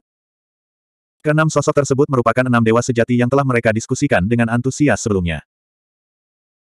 Mereka adalah Dewa Sejati Kiki dari Galaksi Sungai Panjang, Dewa Sejati Pantian dari Galaksi Matahari Emas, Dewa Sejati Xiaoran dari Galaksi Cahaya Hitam, Dewa Sejati Luyang dari Galaksi Awan Hijau, Dewa Sejati Zijing dari Listrik Ungu Galaksi dan Dewa Sejati Huo Yao dari Galaksi Giok Api. Dewa sejati Kiki, yang berpakaian putih, mengangkat cangkir anggur perunggu dan berkata kepada lima dewa sejati lainnya, saya berterima kasih kepada kalian berlima karena datang mengunjungi saya secara pribadi. Anda juga telah membawakan saya banyak hadiah berharga. Saya sangat bersyukur. Karena kalian berlima akan pergi, aku ingin bersulang untuk kalian berlima. Pantian adalah seorang pria bertubuh besar yang tingginya sembilan kaki. Dia tertawa dan mengangkat cangkir anggurnya, Saudara Ki, kamu terlalu sopan. Kami berlima mungkin harus bergantung padamu di masa depan. Saudara Pan benar, kami harus bergantung pada Saudara Ki di masa depan. Saya harap Saudara Ki tidak akan melupakan kami ketika Anda kaya. Haha. Empat dewa sejati lainnya juga mengambil botol anggur mereka satu demi satu. Mereka tidak berani mengendur sama sekali saat mereka menenggak botol anggur mereka satu demi satu. Kiki tersenyum dan meminum anggur. Dia tahu betul mengapa lima dewa sejati begitu sopan padanya dan bahkan menyanjungnya. Itu karena Taiking dan Yuking telah tinggal di Long River Galaxy selama jangka waktu tertentu. Pada saat ini, di tempat yang agak terpencil di dalam tandu, Pande, Yurong, dan Zhou Wen diam-diam menyaksikan semua ini dengan mata penuh rasa hormat. Di saat yang sama, Pande sedikit cemas. Dia bertanya-tanya mengapa Pan Hua belum kembali. Bahkan tidak ada kabar apa pun tentang dia. Setengah bulan yang lalu, dia masih berhubungan dengan Pan Hu, tetapi dalam setengah bulan ini, dia benar-benar kehilangan kontak dengan Pan Hu. Bahkan ketika dia berinisiatif untuk menghubungi Pan Hu, itu seperti batu yang tenggelam ke laut. Apa yang terjadi dengan Pan Hua? Saya belum bisa menghubunginya selama setengah bulan. Pande berbisik dengan cemberut. Zhou Wen buru-buru berkata, Tuan muda, yakinlah. Dengan kekuatan Tuan Panhu, bukankah membunuh Long Wen itu masih mudah? Saya khawatir Tuan Panhu masih berada di wilayah awan api, jadi kami tidak dapat menghubunginya. Pande mengangguk dan berkata, aku tahu itu. Tidak peduli seberapa kuat Long Wen, bisakah dia lebih kuat dari dewa sejati palsu? Hanya saja aku merasa sedikit gelisah selama beberapa hari terakhir. Mengaum. Tiba-tiba, raungan binatang yang menggemparkan bumi datang dari luar Long River Star. Gelombang suara yang menakutkan membentuk lapisan riak berbentuk cincin dan menyebar ke seluruh Long River Star, menyebabkan Long River Star berguncang. Penggarap yang tak terhitung jumlahnya di Long River Star ketakutan dan tanpa sadar menutup telinga mereka. Gelombang suaranya begitu kuat hingga menyebabkan gendang telinga mereka sakit. Wajah enam dewa sejati yang sedang minum anggur membeku ketika mereka melihat keluar langit berbintang.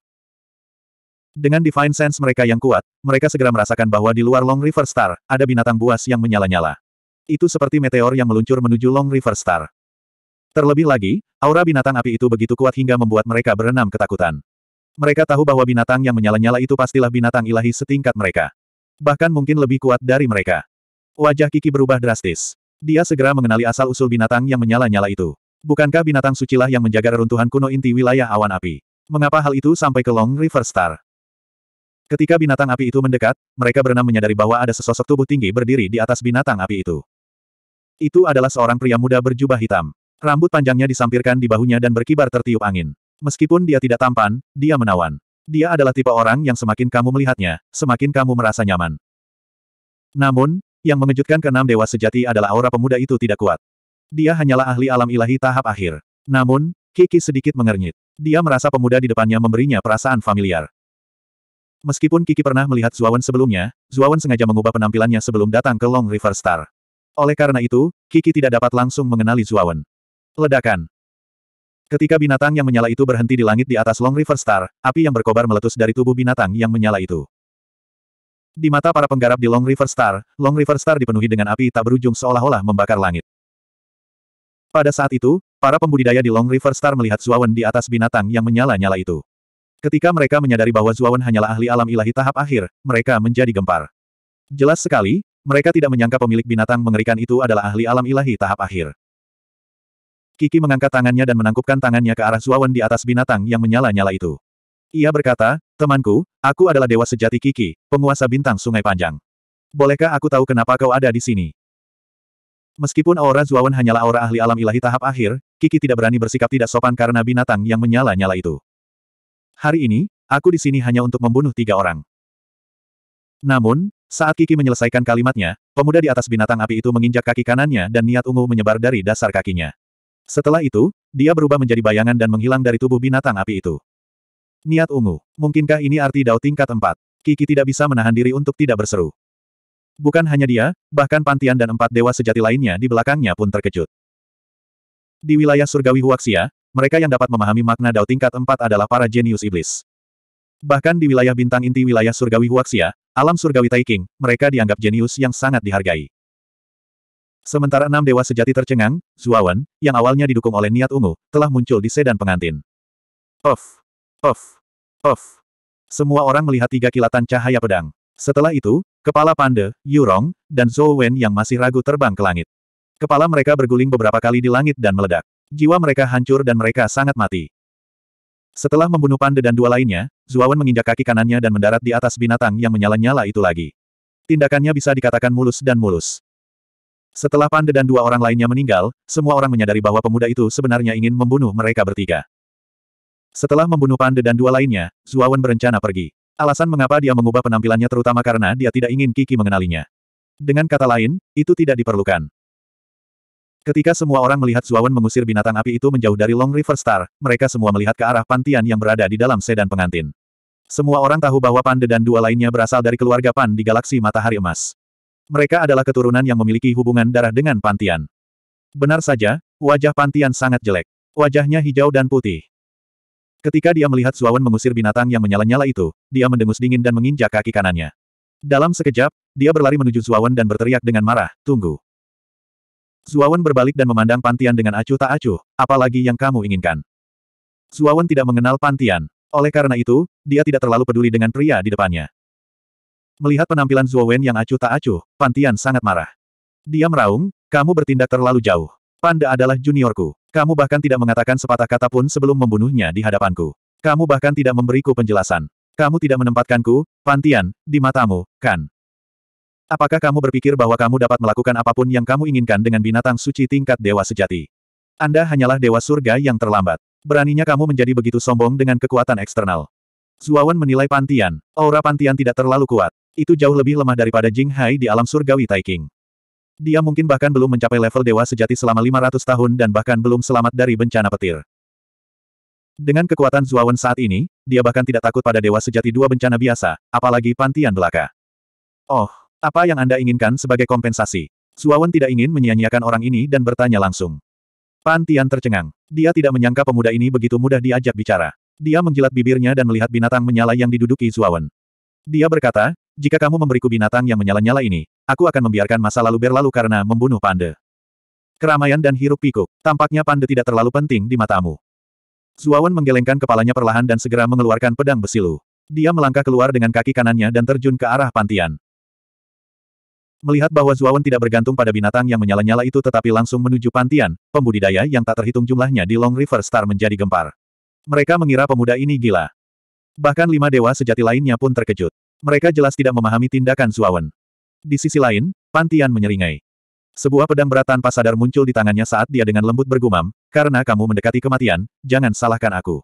Aku akan mengurus binatang api besar ini atas namamu. Kamu bisa pergi dengan damai. Kemudian, Pantian mengayunkan pedangnya yang berat dan hampir menggunakan seluruh kekuatannya. Dia ingin membunuh Zuawan dengan satu pukulan. Melihat tindakan Pantian, Zuawan mengetahui bahwa Pantian berniat membunuh. Kalau begitu, Aku tidak akan menahan diri. Zuawan berkata dengan tenang dan segera menggunakan Time of the Dark Moon. Bulan sabit terbit dan menghantam pedang berat itu dengan keras. Bang-bang. Pantian mengerang dan segera mundur beberapa ribu kaki. Dia memandang pemuda yang tidak mundur sama sekali karena terkejut. Saat dia hendak melanjutkan serangannya, pemuda itu sudah berada di depannya.